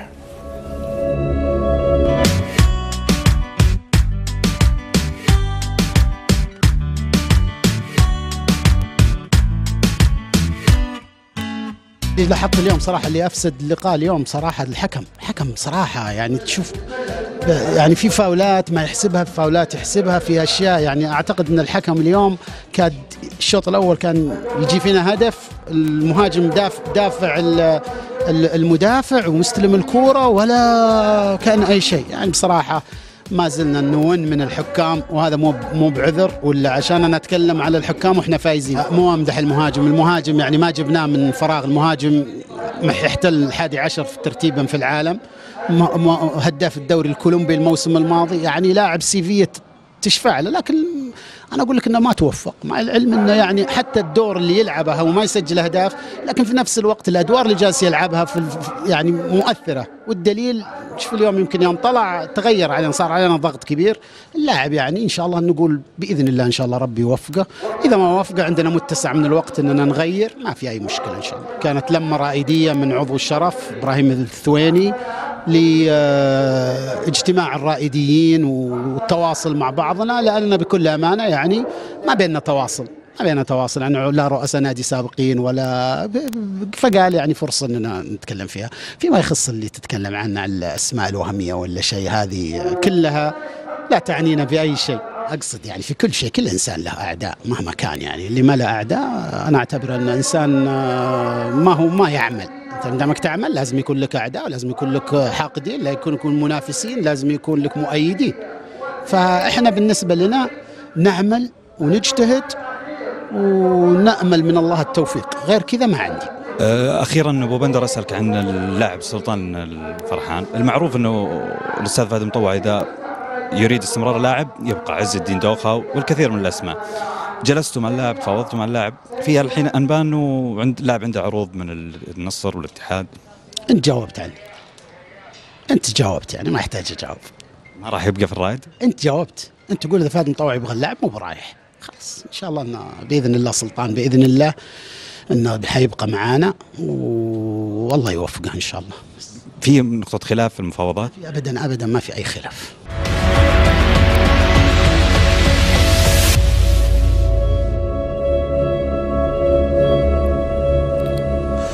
كابتن خميس الزهراني يعني فهد مطوع رغم الفوز اليوم ينتقد الأداء التحكيمي.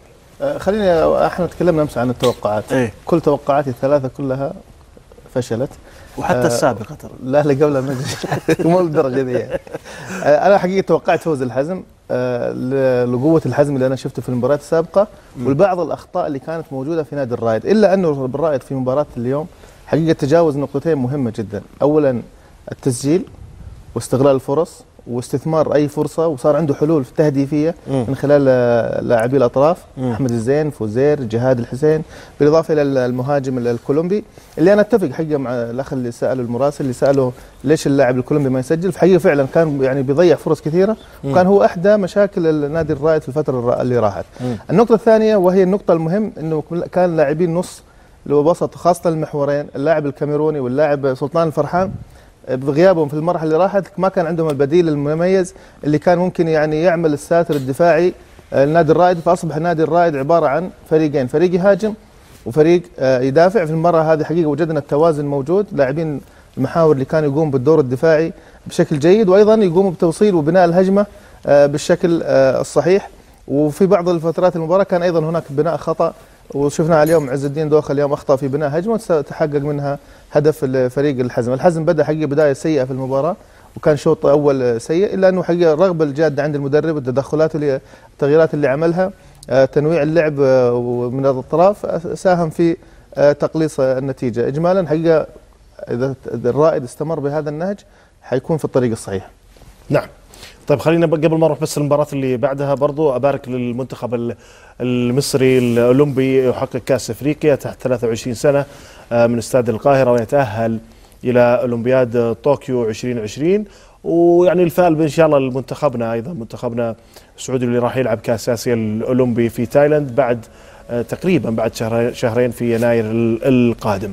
خلينا نروح للمباراة الثالثة واللي جمعت ما بين أبها والفتح ونتذكر أيضا المباراة بصوت الزميل مشاري القرني الكرة مرت الآن من جديد الأمسة تعود خطرة انطلاقة في المساحة الكرة مرت الآن إلى الجانب الأيسر والعرضية تحضر أوه! الهدف الأول يابها أول لزعيم الجنوب. الأداء الكبير الذي قدمه فريق الفتح في اللقاء الذي جمع بينه وبين الهلال. يا لها من سرعة يا لها من كرة. من كرم برناوي يعدي كرم يمر كرم يعرض. يلعب كرة جول يلعب كرة جول. الله الله الله الله الله. جول! الكرة مرت الآن إلى الأمام. استلام الكرة إلى توفيق. يحاول بو حامد مر. عدى بو حامد ال shoot. الله جول. جول. فتحاوي أول. الناحية اليمنى. عمار النجار يلعب كرة ذكية. يا سلام ويا عيني على الكرة. خطرة إلى سمحان. عدى سمحان. يلعب كرة. الله. لا تزال أمام الجول. أوه. من أول هجمة جول! من أول هجمة جول يا العباس قايل لكم يا جماعة الخير سمحان لعيب سمحان لعيب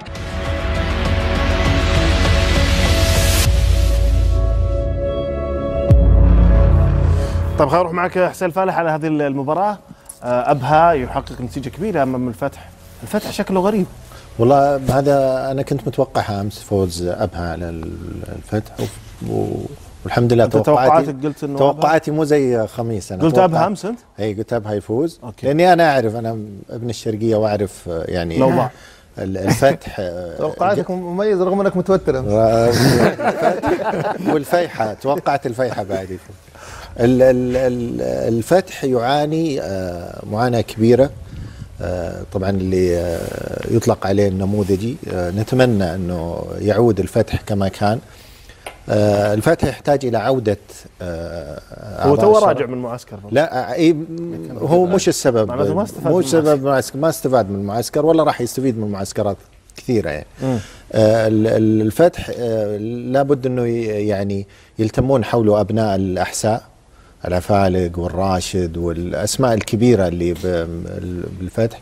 آه، ال- الحالة الفتح انعكس يعني انعكست على ال- المدافع أو المدافع ال- ماتياس هو اللي يعني يلخص حالة الفتح وما يحدث بالفتح. أيوه.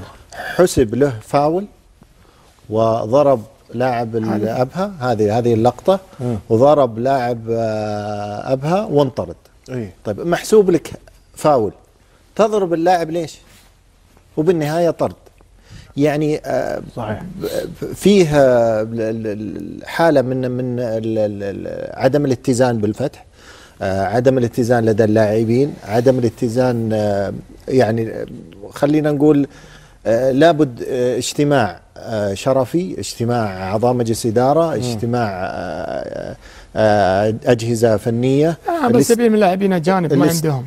الاستعانة أيوه. ال- ال- والله ب- باختصار لك الكابتن لاعبين اجانب يعني يشيلونهم ما. في اجتماع ما اجتماع. بالضبط هم اذا. اجتمعوا هم يعانون ليش يعانون؟ يعانون لأنه ما في ما في دخل مادي. عندهم دعم الدعم الهيئة. هذا ما عندهم. كانت قبل الدعم. بالضبط. بس إنه ال- الاختيارات ما كانت آه، أج- جيدة. اجانبهم السنة سيئين فعشان كذا إنه التفاف أعضاء الشرف والتفاف أعضاء مجلس الإدارة ينتج عنه آه، تغيير ال- العناصر الأجانب إيه. واستبدالهم بعناصر مميزة تع- تعيد ال- ال- الفتح لما كان. عليه.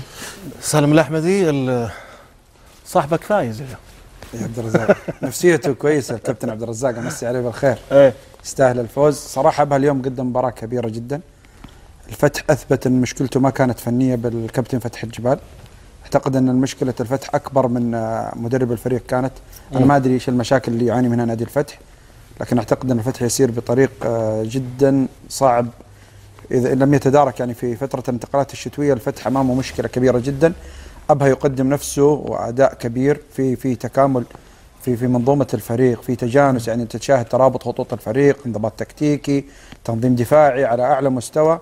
أعتقد إن اليوم المباراة كانت ممتعة جدا. ولكن يعني علامة الاستفهام حتى الآن في الدوري كله مستوى الفتح. صحيح مختلف. الفتح يعني في في خلل.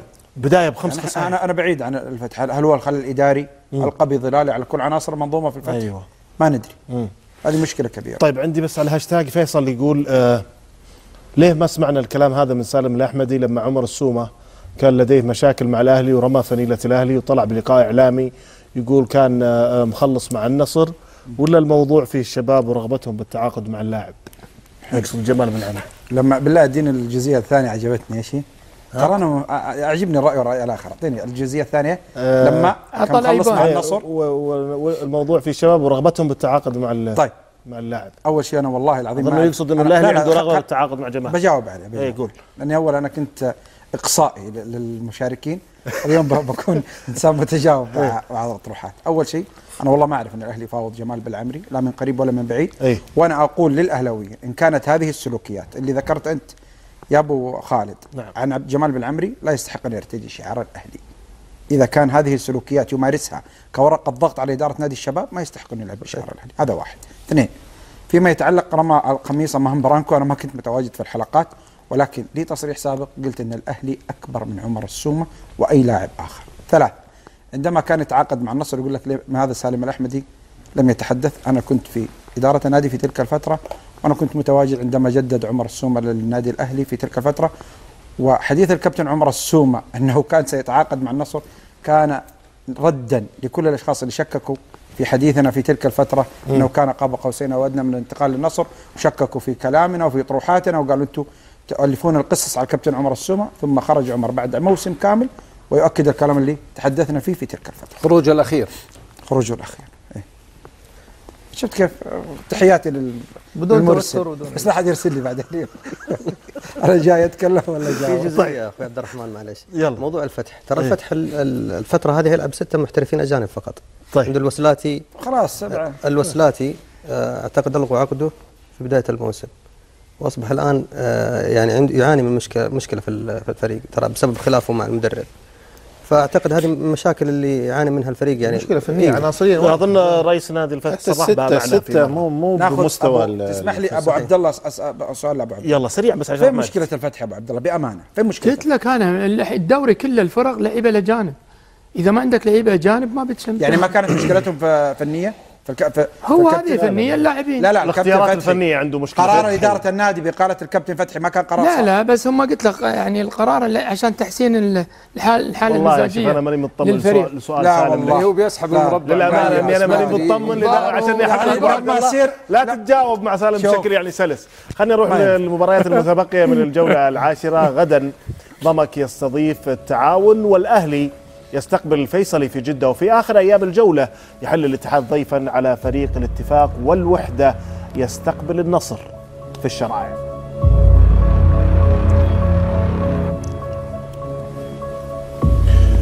طيب أيضا خلونا إحنا نروح لتقرير عن المباريات مباريات الغد نتابع ونعود.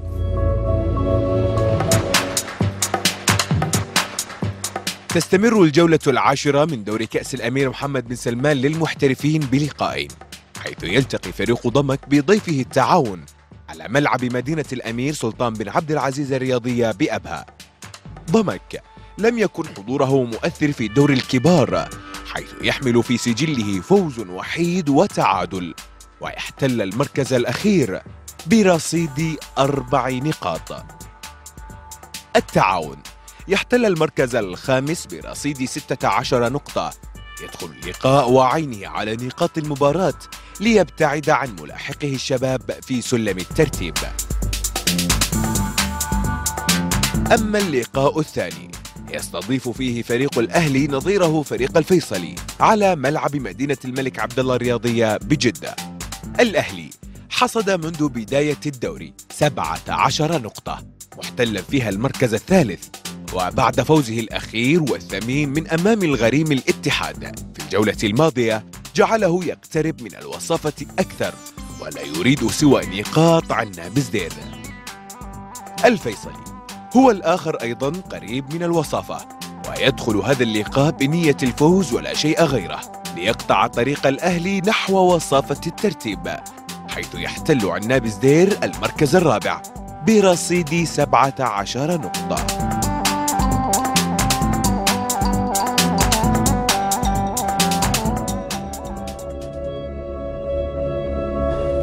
طيب بشكل سريع ناخذ مباريات الغد نروح معك دكتور عن مباراة ضمك التعاون. ضمك طبعا ال- المباراة في أرض ضمك. تتذكر يمكن أفضل المستويات اللي قدمها ضمك كانت على ملعبه. مم. التعاون برضو الآن احتل الترتيب الخامس. في مستوى يعني التعاون يمكن كان عنده تعثرات في بداية ال- ال- الموسم إلا أنه يعني عنده غياب عنده غيابين عنده كارتين أحمر في المباراة الماضية. مباراة ال- الرايد صحيح. لكن التعاون أعتقد إنه وصل لمستوى فني. بدون مد الله. إيه. التعاون يعني من من بداية الموسم قلت لك كان بداية يمكن بداية متعثرة نوعا ما. أعتقد إنه آخر مباراة لعبها بالديربي وكسبها. كل هذه أعطته طبعا جرعة معنوية عالية. أعتقد إنه مباراة يعني ما راح تكون سهلة التعاون بالنسبة للغيابات. ولكن كذلك أعتقد إنه علو كعب التعاون فنيا ممكن يميل الكفة لصالح. طيب بروح معك بسام على الاهلي والفيصلي تعليقك؟ أعتقد المباراة صعبة صعبة على الأهلي بكل صراحة الفيصل فريق متطور وقادر إنه يخطف المباراة. عطفا على ظروف الأهلي الأهلي يعني حتى اداريا هذا الأمر مشاكل إدارية ترى ألقت بظلال على اللاعبين. بكل صراحة مهما حاولنا نقول إنه والله ال- ال- الفريق في معزل عن عن الإدارة وعن المشاكل الإدارية لا موجودة. ولكن هو السؤال اللي أنا بسأله الآن مستغرب منه صراحة. هل يوسف البلايلي حيلعب المباراة الجاية؟ مم. طيب وين لجنة الانضباط ما صحيت؟ مم. هذا السؤال يطرح نفسه بقوة لجنة الانضباط سكتت لها تقريبا أسبوعين أو ثلاثة أسابيع على حادثة صراحة ما يسكت عنها المفترض إنه يكون في تدخل من لجنة الانضباط اليوم آه، الفيصلي كان من حقه إنه يستفيد من غياب البلايلي إيه في هذه المباراة وفي نفس الوقت آه، بصراحة آه، يعني أنت أنت الآن بسكوتك كلجنة انضباط عن هذه عن هذه الممارسات ترى تشرعن بشكل غير مباشر لها يمكن ما في ولأسوأ قرار. منها طيب يمكن ما في قرار أصلا ما في قرار أيش؟ يقول ليش ما في قرار؟ اللي شفناه وما يصير قرار اي أعتقد إنه ما في مصيبة. قرار ولا ما تركوه لحد هذه. مصيبة هذه مصيبة صراحة كلامك صحيح نفس أسوأ من إنها اللي أرسل على الواتساب الكيتشن رئيس لجنة الانضباط السابق قال وقفوا ساندي رومان واللاعب الفتح مباراة الهلال. هذه أسوأ من ما لم تشاهدوا لجنه واللي أسوأ منها إنه رجعوا هذه- هذه- علشان هذه هذه هذه ما لها مطار يا بسام. ورجعوا مطار. ساندرو مانويل ب- عضو في لجنة انضباط بناء على معلومات قرار مغلوطة يا رجل. الرئيس رجعوا رجعوا الانضباط ساندرو مانويل عشان لولا؟ تدخل رئيس هيئة الرياضة؟ في تلك الفترة كان أوقف ساندرو مانويل ساندرو هذا دليل ساندرو على مانويل إيش؟ ساندرو مانويل طلع طلع ال- الحقيقة كيف. طلع؟ بناء يقول لك؟ بيقول لك علشان القرار إيش الفريق يتضرر مدرب بان التشكيلة عليه مو صحيح أنا سؤالي سؤالي. هذا مو صحيح. كيف مو اوقف صحيح. كيف أوقف الأستاذ تركي آل الشيخ قرار إيقاف ساندرو مانويل؟ بناء على المعلومات اللي وصلت. هو السؤال. إيه لا لا لا هو السؤال الأستاذ تركي آل الشيخ جاوب. هو اللي دخل وأوقف هذا مو صحيح. لا كيف؟ هو لا ال- لا لا أبناء كلم- نادي الفتح كلم نادي كلم الفتح لا لا تواصل مع الأستاذ في تلك الفترة رئيس الاتحاد أعتقد عادل عزت أو قصي واستفسروا في الموضوع واكتشفوا أن الرسالة التي بعثت لرئيس لجنة الانضباط كان فيها تضليل. كي يوقع العقوبة على لاعب الفتح هنا هذا- هذا- هذا اللي إحنا هذه نتكلم عنه من معلومة- سنوات هذه عجبت هذه. معلومة ما ذكرت ها- إلا الآن ه- لكن هذا- لكن اللي الاختراق اللي حصل الاختراق اللي نحذر منه اللي من حصل انه سنوات تم إحنا إيقاف تعبنا. اللاعب. وبناء على التدابير الوقتية البلايلي يستحق الإيقاف ولا لا؟ خلي خلينا من البلايلي لا لا سؤال أنا بروح البلايلي هو- يلا باقي دقيقة معي سؤال. سؤال بس جاوب على. السؤال دقيقة أستاذ. دقيقة دكتور ما هو ما هو ج- ما هو ما هو ملعبك هذا يلا ما ما يلايق عليك آه انت بتكلم أنا عشان إيه. جاوبني على السؤال. على مباراة الاهلي لا لا لا الأهلي والفيصل أيوة، لا، على. وجهة نظره شوف هي تحترم. صحيح. أنا ما علقت على وجهة النظر بس قلت له إذا أنت مستغرب مرة يا رجل عضو في اللجنة يمرر معلومات مغلوطة لرئيس اللجنة كي يوقع عقوبة مخالفة يا رجل. هذه مصيبة. يا قول كلامك عن شفنا- خلي بس قول كلامك عن المباراة. يلا سريعا. صعبة على الأهلي. في ظل الأوضاع الإدارية في النادي الأهلي الفيصلي فريق كبير ومتمرس. ودائما يعني أمام الأهلي يقدم مباريات كبيرة ولكن في ملاحظة إذا وجد خلل في أي عنصر من عناصر أي منظومة يجب على بقية عناصر المنظومة أن تطلع بدورها. أوكي. إذا الجمهور والإعلام في الأهلي يتحدثون عن في خلل إداري هذا ما يعفي اللاعبين من تقديم عطاء كبير بكرة. ممتاز. ما يعفي الجمهور من الحضور ودعم الفريق. فبالتالي مسألة أننا كلنا ننتقد الخلافات الإدارية ولكن الكرة بكرة ملعب اللاعبين والحضور الجماهيري. طيب. آه، أبو نواف؟ هي مباراة لا لا لا لحظة. أبي توقعك على لا لا لا. الله يخليك لك. لا لا تكفى أبو نواف. ضمك والتعاون. الله يخليك أبو نواف. ضمك التعاون الاهلي الفيصل يعطيني توقعاتك لها. سريعا قبل أروح الفاصل. يلا. خليه يتوقع. توقع فوز الأهلي. إيه. لا. ضمك التعاون. يلا أبو نواف. ضمك تعاون تعاون الأهلي الفيصلي؟ الأهلي. الأهلي. برضو سريعا توقعكم. أنا أقول لك ضمك تعاون. تعاون. تعاون. الأهلي الفيصلي؟ والأهلي. تعاون والفيصلي. دكتور؟ تعاون الاهلي بسام التعاون والأهلي. تعادل التعاون وضمك الأهلي. نروح الفاصل ونرجع نكمل. يا هلا ومرحبا فيكم مرة أخرى في برنامج الديوانية. مراسلنا في اليابان الزميل العزيز عبد الرحمن العابسي رصد لنا الأجواء الهلالية قبل النهائي الآسيوي. نتابع. طبعا الجميع يعرف إنه هذا ثالث نهائي نلعب عليه إن شاء الله. ونقول آه، للجميع آه، نتفائل إن شاء بهذه المباراة. آه، مباراة الأولى انتهت 1-0 طبعا ما ننظر لها ونكتفي نقول 1-0 انتهت المباراة بالعكس المباراة تكون صعبة. وما في شيء صعب على همة الرجال والإصرار. اللي شاهدناه من خلال المباراة السابقة ومن خلال التمارين ومن خلال تواجد الفريق في طوكيو خلال هذا الأسبوع. وإن شاء الله الجميع عنده إصرار وتفاؤل بهذا بتحقيق هذه البطولة إن شاء الله. كنا سعيدين يا أخوي بتواجدنا في آه، هذا النهائي. آه، وهذا طبعا بدعم من سيدي ولي العهد الأمير محمد بن سلمان. هذه المبادرة آه، ليس مستغربة منه. وأيضا ليس مستغربة من إدارات آه، الهلال آه، بدعوة بدعوتي أنا وزملائي قدماء اللاعبين لحضور هذا النهائي. وأيضا أن الطموح موجود لدينا جميعا. الطموح تعرف طموح قيادة طموح شعب. من أجل استعادة إنجاز مفقود للكرة السعودية. كنا متفائلين إن شاء الله خير بهذا الإنجاز أنه سيعود إن شاء الله يوم الأحد القادم لرياضتنا وكرتنا السعودية. طبعا كل لاعب المفروض هو يكون تابع المباراة السابقة وعرف اللاعب السابق اللي لعب أمامه. آه، إيش ال- ال- الأشياء اللي آه، يسويها أو إيش المهام اللي يتطلبها منه المدرب. فأنا متأكد أن محمد البرايك المباراة السابقة كانت مهمته صعبة أمام آه، خصم عنيد أو آه، أفضل نقاط التقييم. إي نعم. كان آه، في أصعب المباريات. الحمد لله كان محمد البريك آه، قدها. في هذه المباريات يحتاج محمد البريك آه، أكثر آه، تركيز من المباراة السابقة لأن هذه المباراة تعتبر بالنسبة لهم هم الهجوم والضغط على اللاعب.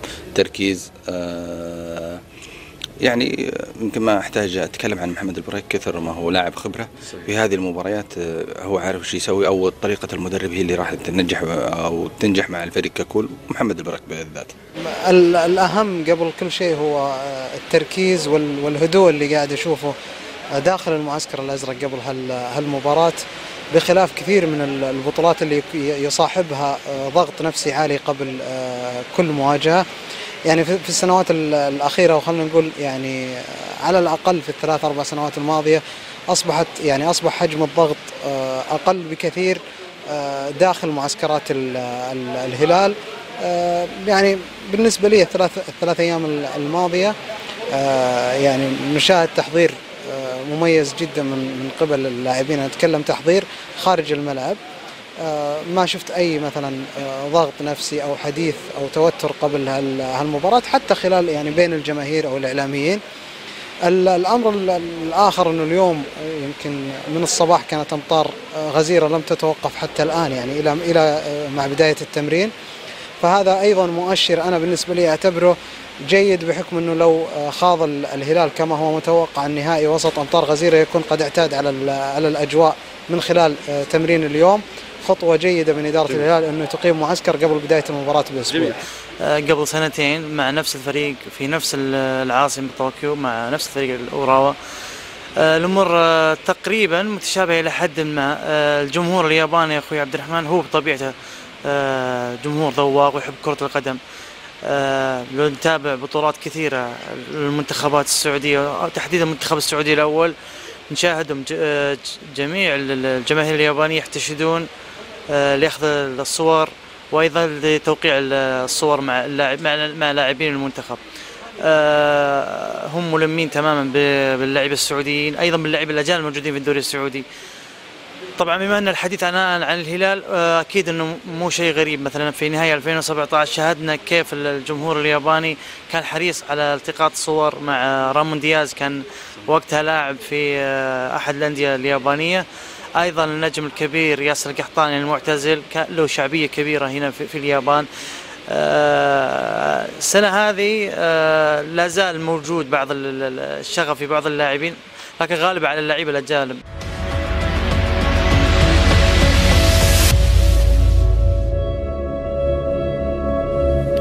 دكتور آه، واضح من خلال الحضور اللي شفناه قبل شوي النجوم السابقين في الهلال متواجدين مع الهلال. آه، مؤشر على اطمئنان كبير عند الهلاليين على المباراة؟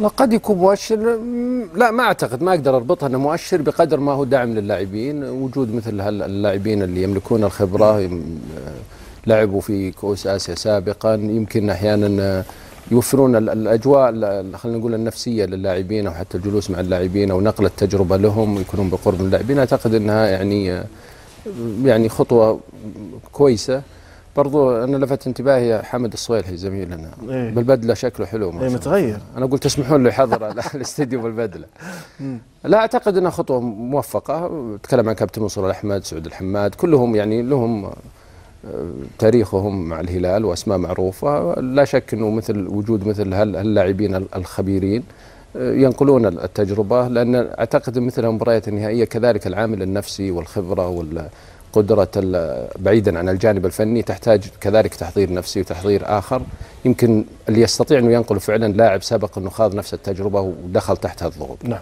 كابتن خميس هي مبادرة من الإدارة الهلالية تجاه اللاعبين القدامى يشكرون عليها آه، لا أعتقد أنها مرتبطة بال- بالفريق صحيح. لا يمكن أنه لا أتوقع أنهم حيكونوا معزولين تماما جداً. في فندق مختلف مم. ما يحضروا التمارين ولكنها مم. مبادرة تقديرية مم. في حدث آه، تاريخي للهلال أتوقع أنه يكسب بحول لها. عامل تحفيز طيب تحفيز عند يعني عند الإدارة تحفيز للاعبين لما يشوفون من برا لكنها مرتبطة بالفريق مباشرة ما أعتقد سيكون هناك أي اتصال تواصل. خطأ. اي حيكون خطأ لو فتح خطأ. الباب حتى التمارين ما بيحضرون آه. وط- يعني فبالتالي أعتقد لكنها مبادرة من الاداره ال- الهلالية. تجاه اللاعبين القدامى يشكرون عليها آه، في وقت نتكلم عن المباراة الفنية إيه، ولا. ولا لا، لا، قول. نتكلم. أنا أشوف لا يعني من, وبنرجع ترى بس أنت قول الجزئية اللي تبغى تقولها قولها أنا بتكلم عن الأمور الفنية لأن إيه. كلنا نتكلم عن ال- ال- الجانب النفسي المعنوي الإداري نحن حقيقه بتكلم عن الجانب الفني قول وهو الأهم مم. في داخل المنظومة الهلالية. أنا تكلمت في الشهر في بداية الشهر الماضي قبل مباراة الأياب إنه هي مباراة من شوطين. فعلا انتهى الشوط الأول بطريقة تفكير مختلفة عند المدرب حققوا نتيجة إيجابية مميزة. الجانب الآن الأهم كيف يتعامل مدرب الهلال والفريق الهلالي مع المباراة. في نظري الشخصي إنه يجب أن الفريق يستمر على نفس نهجه نفس العناصر نفس التشكيلة ولكن بحذر. حذر في الناحية الهجومية. بمعنى الهلال متعود دائما الهلال نهج الهجوم. نهجه الهجومي هو طريقة لعبه. يعني مزروعة في النادي متغلغلة بتاريخه إنه الفريق هجومي. style ه هجومي. خلاص style الهجوم بالتالي هذه المباراة لا يجب أن يكون هناك هجوم بحذر. بمعنى إنه بدل ما تفتح الملعب بظهيرين المرة هذه لا إذا طلعت الهجمة من اليمين يجب أن الظهير الثاني يكون موجود. بدل ما أفتح الملعب بمحورين وأكمل الهجمة بمحورين يجب أن يكون المرة هذه عندي محور مو- موجود ثابت. أضمن دائما انه يكون في ستة أو سبعة لاعبين متواجدين خلف الكرة أو متواجدين في ملعب الهلال باستمرار. آه تحتاج هذه المباراة إلى بذل مزيد من الجهد من الإبداع عند اللاعبين خصوصا سالم كاريليو جوميز جوف جوفينكو. يجب في هذه المباراة الأربعة ذولي أن يقدم كل ما لديهم بش بشكلين. الشكل الأول واحد ضد واحد يكون هناك فرق لأن الآن حتجد مساحات. لن تجد انه الفريق ال- الياباني أيضا بيهاجم بشكل غبي. مم. سيكون أيضا عندهم حذر عندهم توجه هم أيضا يفكرون بنفس الطريقة. لكنه حيكون عندهم أيضا فتح الملعب آه، زيادة عددية هجومية فبالتالي سيكون هناك العناصر الفردية المهارات الفردية هي اللي تفرق عند الجانب الهلالي مم. اللاعب الهلال يجب الآن يتحمل المسؤولية جوميز إذا مسك الكره يجب أن يأخذها ثلاث أربع خمس ثواني إذا انقطعت منه كل كره انقطعت منه حترجع هجمة مرتدة على نعم. على الهلال وهذا يشكل عبء مع مم. مع مزيد الوقت مع الضغط الجماهيري استحواذ. على الكره أكثر يعني استحواذ استحواذ على الكره الاستحواذ الإيجابي ليس إيه. الاستحواذ اللي في الملعب استحواذ في نصف الملعب مم. طريقة الضغط ليس من الذكاء أنك تضغط في ملعب الفريق الياباني الآن. يجب أنك ترجع ملعبك الستايل الإيطالي يرجع في ملعبك تجيك في نصف الملعب. يبدأ الضغط من هذه المرحلة. مم. الضغط إذا كان في المقدمة يجب يكون فردي غير مدروس. مم. هذا اللي أعتقد إنه الهلال اللي يحتاجه في المرحلة الجاية. توفيق من الله عز وجل اولا يحتاج إلى كسب ال ال ال كل الاحتكاكات خصوصا في الناحية الهجومية. يحتاج إن يكون هناك حذر في الهجوم. نعم. وأيضا آه، عدم وجود الأخطاء الفردية في الناحية الدفاعية. أيضا الحرص على المهارات الفردية عند اللاعب. الفريق الياباني فريق مميز في التصويب ومميز في الكرات الثابتة. يجب أن يكون هناك حذر ودراسة للفريق الياباني. آه، كل التوفيق إن شاء الله لل- للهلال في هذه المباراة. طيب خلينا إحنا نروح لأجواء الجماهير قبل مواجهة الهلال وراوا. من اليابان مع الزميل عبد الرحمن العابسي. السلام عليكم. وأنا اسمي يوري وهلالية جميل. آه يوري منذ متى تشجعين الهلال؟ منذ قبل خمس سنوات. جميل. من تعرفين من اللاعبين في الهلال؟ محمد كانو محمد الشلهوب ياسر الشوراني وعبد الله الميوف سالم الدسري سلمان أرفلش جميل. آه يوري آه الهلال في الرياض 1-0 في سايتاما؟ 2-0 إن شاء الله. الهلال. إن شاء الله. آه من من يسجل الهدف؟ غوميس وسالم. اللاعبان الأجنبيان غوميز وجوبينكو يشكلان عنصر قوة لفريق الهلال وأيضا يشكلان متاعب لفريق أوراوا أعتقد ذلك. هو من من يتمنى يفوز الهلال أو أوراوا؟ الهلال.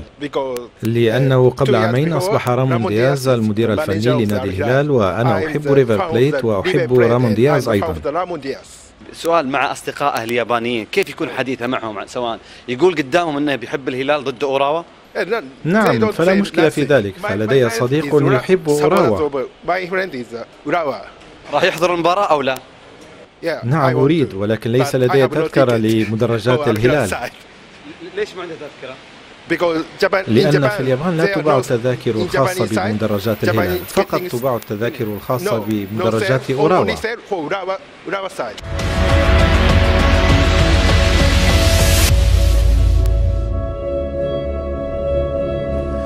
بسام الحياني فيه جماهير والله. أكيد آه، فريق كبير. يعني أكبر فريق على مستوى القارة. آه، ثلاث نهائيات في آخر ست سنوات. آه، نجوم عالميين.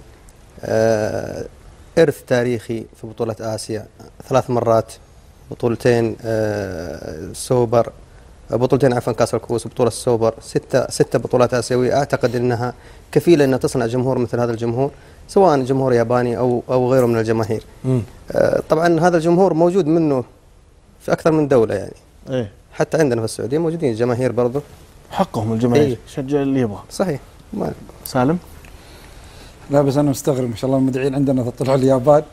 يسألون على الميول عادي. إيه. لكن عندنا يقولون الوطنية ولا تدخلون في الوطنية. إيه. فتحياتي للمشجع الهلالية يوري.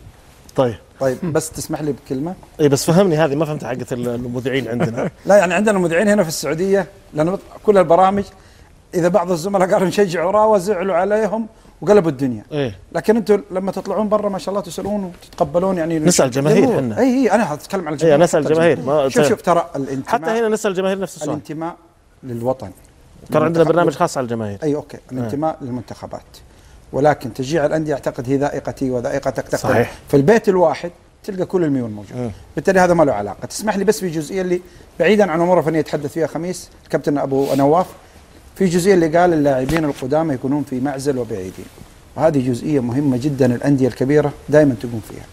مسألة إنك تستقطب النجوم السابقين لا يعني بالضرورة إنك تحضر التدريبات لأن هذه إشكالية كبيرة تواجه الأندية. مسألة إن إيش الإشكالية؟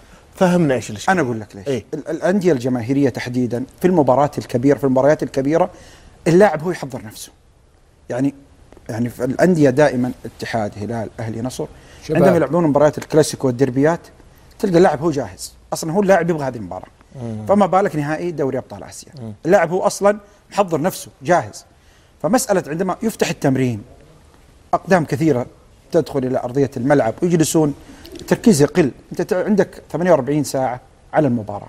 فبالتالي أنا أؤكد على كلام أبو نواف إنه فعلا في في معزل عن اللاعبين حتى يجب لو كانوا لاعبين قدامى وما ايا يكونوا عارفين يكن الأجواء يجب يجب ممكن يوجه يجب لا لا ما. يوجه متى يوجه يا يا عبد. الرحمن إيه. هذا غير مقبول يعني مع كامل احترام نجوم كبار في كل الأندية ما يعقل أنا عندي مباراة بعد يومين وأنا أستنير بآراء لاعبين سابقين قبل المباراة بيومين. ما, نعم. ما أعتقد. ممكن بحديث ودية إيه بعد حديث المباراة. ودية يعني خارج. أنا ما أقصد ترى ما- لما أقول أنا يجي وجهة- يحضر التمرين أو شيء. ممكن حتى في ال break في في الأوقات break الراحة. وين؟ break فين يا دكتور؟ فين؟ عندهم اليوم فندق عندهم. ساعتين. لا لا لا لا, لا, لا يجب. أن حتى الفندق ما يوصلون. ما بأمانة مع احترامي لهم. لأن انت أنت جاي لمهمه محددة. مسألة تشتيت انتباه اللاعبين. ما ما في إدارة محترفة تقبل بهذا الأمر. تعديل بسيط. أنا. ذكرت إنه الهلال عنده بطولة ثلاث بطولات دوري أبطال آسيا. هي بطولتين وبطولتين كأس الكؤوس وبطولتين السوبر. نعم. يعني من كل بطولة أخذ الهلال بطولتين وهذه إن شاء الله الثالثة. آه، بحول الله. آه، ال- الهلال اليوم يلعب غد أو بعد بكرة إن شاء الله حيلعب في آه، نفس الأجواء متعود عليها. نفس الجماهير أمام نفس الخصم. تتحدث عن النهائي السابق. البطولة بهذا المسمى ما حقق الاتحاد. المسمى تغير. إيه، المسمى لكنها هي لا، نفس بطولة لا البطولة. بطولة مستقلة. لا لا لا لا, لا زي- ما- زي ابدا ما هي بطولة لا لا مستقلة. بطولة جديدة. دوري أبطال آسيا تختلف عن كأس الكؤوس الفيفا أعلن قبل. أمس إنه هذه إيش أعلن؟ هذه البطولة إذا حققها الهلال تعتبر البطولة الأولى له. بهذا المسمى. والث- والثالثة بهذا المسمى، ولكن- هو الفريق السعودي الوحيد اللي حقق البطولة. من هو؟ الاتحاد. الاتحاد حقق دوري أبطال آسيا. لكن الاتحاد الآسيوي خرج الإحصائية. دوري أبطال آسيا. الهلال حققه مرتين. والاتحاد حققه مرتين. و... لا إذا كان بم... إذا كان بالمنظور خلينا تقول لك منظور لأنها تقول- امتداد. ترى الاتحاد 1999 أيضا حقق كأس آسيا. اي صحيح. معناته إنه صار ثلاثة إذا كان لا لا لا. لا, لا كاس كا غير كأس آسيا. يا غير أسامي على غير إحنا بنقول غير. أنت اللي تتكلم حققه الهلال غير اللي موجود الآن. أنت اللي حققت بطولتين إيش هي؟ حققنا 2004 و2005 و99 إذا كان 99. بال... إذا كان بالمنظور اللي تقول. دوري ابطال د- كاس الأندية الأبطال؟ إيه. أيوه. ثلاث مرات؟ إيه، إذن ثلاث. الاتحاد ثلاث مرات. لا لا ولا بطولتين مختلفة 99 ما كاس الكوس كاس الكوس لا، مختلفة لا. لا. لا لا. لا الكوس دوري تختلف عن كذا- لا الكوس. اختلفنا. أنت كاس الكؤوس في عام 99 غير عن دوري الأبطال. يا سلام عليك، اللي حققتها. مرتين. نص الاتحاد حقق هذه عليك، مرتين. عشان كذا اللي بنقول اللي الاتحاد حققوا الهلال غير دوري الأبطال. لا نفس. لا، نفس لا، البطولة. هي الاتحاد 2003. نزل الاحصائيه من ع... من أول بطولة إلى آخر لا، لا، بطولة ال- ال- وكان الهلال مشترك في آه الهلال آه، محقق آه، الاتحاد بطولتين. الآسيوي نزل قبل أمس. تقرير عن المباراة النهائية إنه إذا حققوا الهلال تعتبر البطولة الأولى وإذا حققوا أوراوا تعتبر البطولة الثالثة. البطولة لهم الثالثة بهذا المسمى أوراوا. والهلال بهذا المسمى المسمى تغير. ولكن البطولة هي نفس لا لا البطولة بطولة مستقلة كانت أبطال الكوس أبطال الدوري كانت ثلاث بطولات. أبطال آسيا مختلف. كانت ثلاث بطولات لكن حتى الآن كأس الاتحاد الاسيوي العام- كأس الاتحاد الاسيوي لا زال موجود تعرف 99 لما لا زال موجود كأس الاتحاد لما الآسيوي. حققناها 99 ما كانت بديك الاهميه صحيح. كان الدوري السعودي عندنا كان اهم منها كأس الآن الكؤوس دوري أبطال آسيا هو. رقم واحد الهدف الرئيسي كأس الكؤوس هذيك اي طيب هو هذا غير عن عن كاس ال- ال- الأندية الأبطال. طيب ممتاز هذا بنقول أنت انت حق آه، الاتحاد دخل هذه المنافسة في عام كل واحد 2004 شوف رسميا. هذا هذا جدل في الإعلام الرياضي ما راح ينتهي.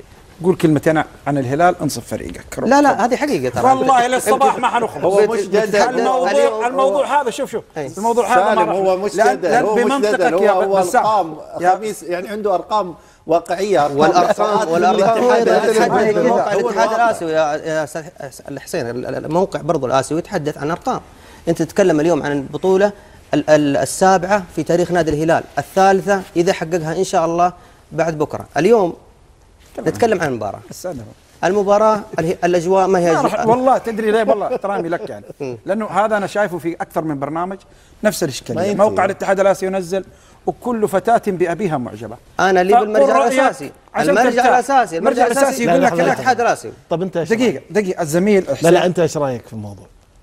بأمانة إذا بأمانة. إذا بناخذ بمنطقه الدوري لا،. برأيك أنت مو منطقي. دقيقة رأيك لا لا رأيك لا أنت. لأن هم هم هذه توقعات يعني خلينا اعرف سالم لما منطق. الموضوع الثقافة- لأن عنده رأي مختلف أسمع الثقافة القانونية يجب أن بالمنطق ترتفع عند. الشخص أسمع. الثقافة القانونية يجب ترتفع عند الشخص بعض الأحبة في, في الوسط الرياضي ما ما قلت اسم حدا عندهم ال ال للأسف الشديد لا لا تقول له تعال خلي خلي في حاله على الله عليك. أنا مستمع. الوسط الوسط الرياضي يعني هو يقول هي نفس البطولة ولكن اختلف المسمى. أيوه. المو... قبل موسمين يعني حضرت لجنة توثيق البطولات كان بعض الأحبة في النصر والأهلي والاتحاد كانوا يقولون كأس دوري جلالة الملك هي الدوري. أيوه. كانوا الأحبة بعض من الميول الآخر أوكي. آه الهلاليين وغيرهم مم. كانوا يقولون لا هذه بطولة أخرى. مم. فبالتالي اليوم الآن عندما ارتبط الأمر بالهلال يقول هي نفس البطولة ولكن تغير المسمى. هنا نفس البطولة تغير المسمى وهناك ما هي نفس البطولة تغير المسمى. المشكلة فين؟ أكون معك صادق. إن الاتحاد الآسيوي زي ما ذكر الزميل حسين ترى اعطى أكثر من إحصائية ال- ال- الأسبوع هذا صح, صح. ولا لا صحيح. أول شيء قال صفر للهلال مم. بعدين قال اثنين زي ما ذكر بسام صحيح اذا إذا المرجعية الاتحاد الآسيوي لكرة القدم هو متناقض في في معلوماته مم. فبالتالي هذا الجدل حيستمر أنت اليوم جاي تسأله عن مباراة الهلال بعد بكرة لو بنخوض في موضوع تصنيفات. البطولات الآسيوية ما راح. نوصل للحل طبعا مع اختلاف اختلاف اللي يا- ذكره الدوري جلاله الملك آه، طيب حلو. خلينا نسمع أسمع. يلا على أساس أنا الوقت. بس آه، عجبني كلام أبو نواف بس في نقطة معينة لا أتفق فيه معاها ابدا. إيه. اللي هو آه، هو تذكر أن الهلال شخصيته هجومية فبالتالي تغيير الشخصية هذه قد تفقدك المباراة. نعم. فبالتالي ممكن هو متوتر اليوم يتكلم بتوتر وخوف. آه عذره معه طبعا. لا، لا، لا، يبغى أنا- الهلال يفوز أنا ما لكن قلت أنا ما قلت الهلال يدافع يا كابتن؟ أنا ما قلت الهلال يدافع. أنا قلت انه يهاجم ولكن قلت بحذر. لما يروح الظهير هم لا؟ أسلوبهم لا. أنا أسلوبهم قلت أنا يعني قلت عندي مبدأ. يهاجم ولكن بحذر. لا عندي ما في بحذر. هو ما يغير أسلوبه. يفتح الملعب ويروح الظهيرين لا هو أسلوبه. هو فريق قوي وشخصيته قوية. لا بس هذه المباراة لو غير. أسلوبه وخسر مباراة بيقول لك ليش لبس شخصية. هو أسلوبه. هو أسلوبه هجوم ما واسلوبه. قوته. وخير وسيلة الدفاع الهجوم. خله يجيب هدف يعني انت. قصدك انه على الهلال انه يحافظ على ستايله. وعلى إيقاعه رايك. الفني يعني آه مدربين مروا يقول عندك أنا ما أعرف. مدربين أعرف حمد يعني أيوه أنا قدامي. أعطيك خبرات. مدربين إحنا هذا استفدنا منهم يعني هذه كلها مدارس اللي مرت علينا إيه. اللي عشناها الحياة كلاعبين إيه. المدرب يعطيك آه، بس دروس هذه عملية حمد لازم موجودة أنا يعني أقول مو- له الان أنا أقول له الهلال لا يلعب بنفس أسلوبه ونفس شخصيته زين ولكن بحذر لا تكون بحذر. متوتر طيب خلينا خلينا. نروح بس للتقرير متوتر. سعود كريري الإداري الجديد واللاعب الخبير يقود الهلال في الطريقة للآسيوية السابعة نتابع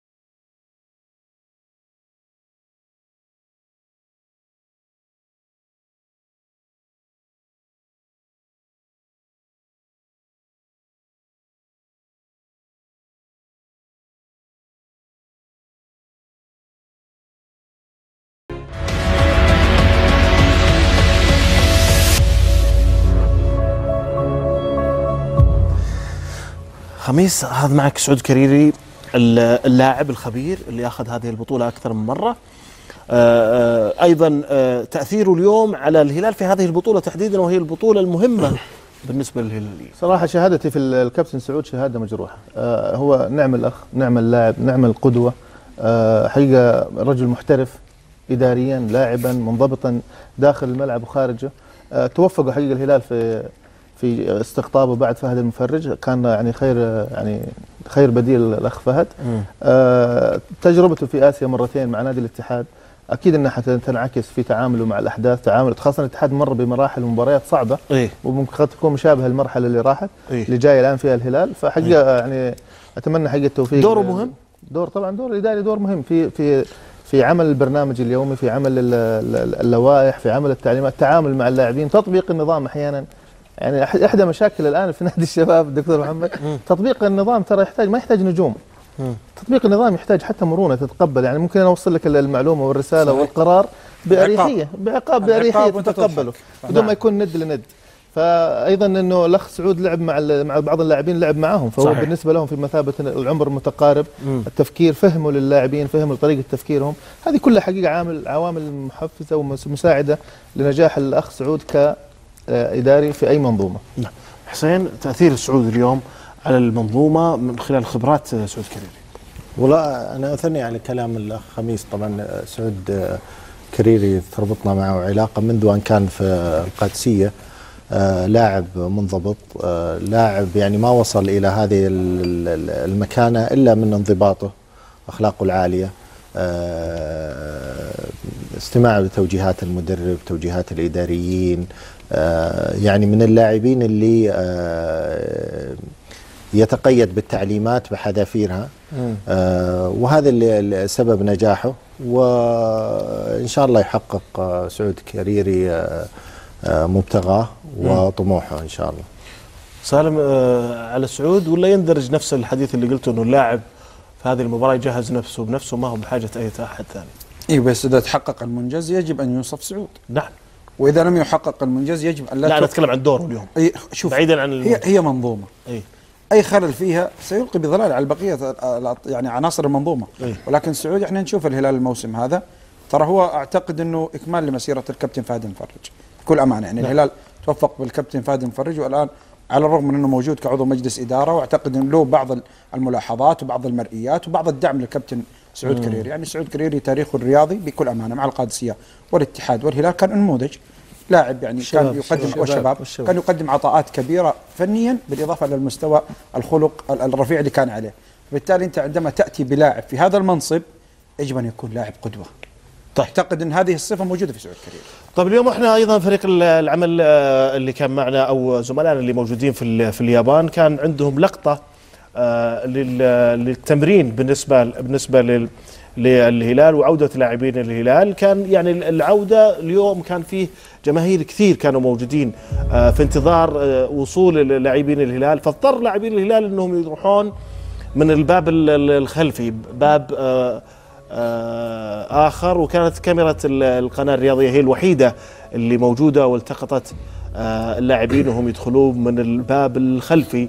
لوجود الجماهير تعطي تعطي مؤشر على مسألة التركيز على إنه ما يبغون اليوم اختلاط مع الجماهير أي حديث أي صحيح ممكن ممكن يكون في كشافين من الفريق تعطي. هذا تعطي هذا المؤشر ولا ممكن يكون في يعني أنا؟ سبق صارت معنا مرة في مباراة في الصين في إحدى المباريات كان المدرب يعني أغلب التكتيك حتى كان شفهيا مم. يعني كان عنده توقع أنا سألت المدرب كنت أنا الكابتن أي. ليش بنسوي كذا؟ قال أنا متأكد إنه الصينيين الآن عندهم يعني حتى ممكن يكونوا عمال أيضا موجودين أي. فمتوقع يكون في حذر في كل واليوم. الوحيد يعني الأيام الماضية كانوا لا يدخلون بالبوابة الحين الحين, بالنسبة لبعض المدربين يسوون إغلاق مدر- ملعب تمرين هالأداة هذه أنا ما أشوف منها فائده إيه. يعني الحين الهلال لو مدرب اوراو ولا مدرب طيب. عارف أسلوبه وبيلعب عارف تشكيله لا لا مو صحيح التمرين يا أخي الأخير. أنت واحد من لا لا مو هذا صحيح. كلامك حمد. دقيقة حمد. أنتوا عملتوا ذا الأسلوب وتفتكرون بمعزل يعني التمرين الاخير والله التمرين مغلق. التمرين الاخير التمرين. الأخير المدرب يطبق التكتيك فيه.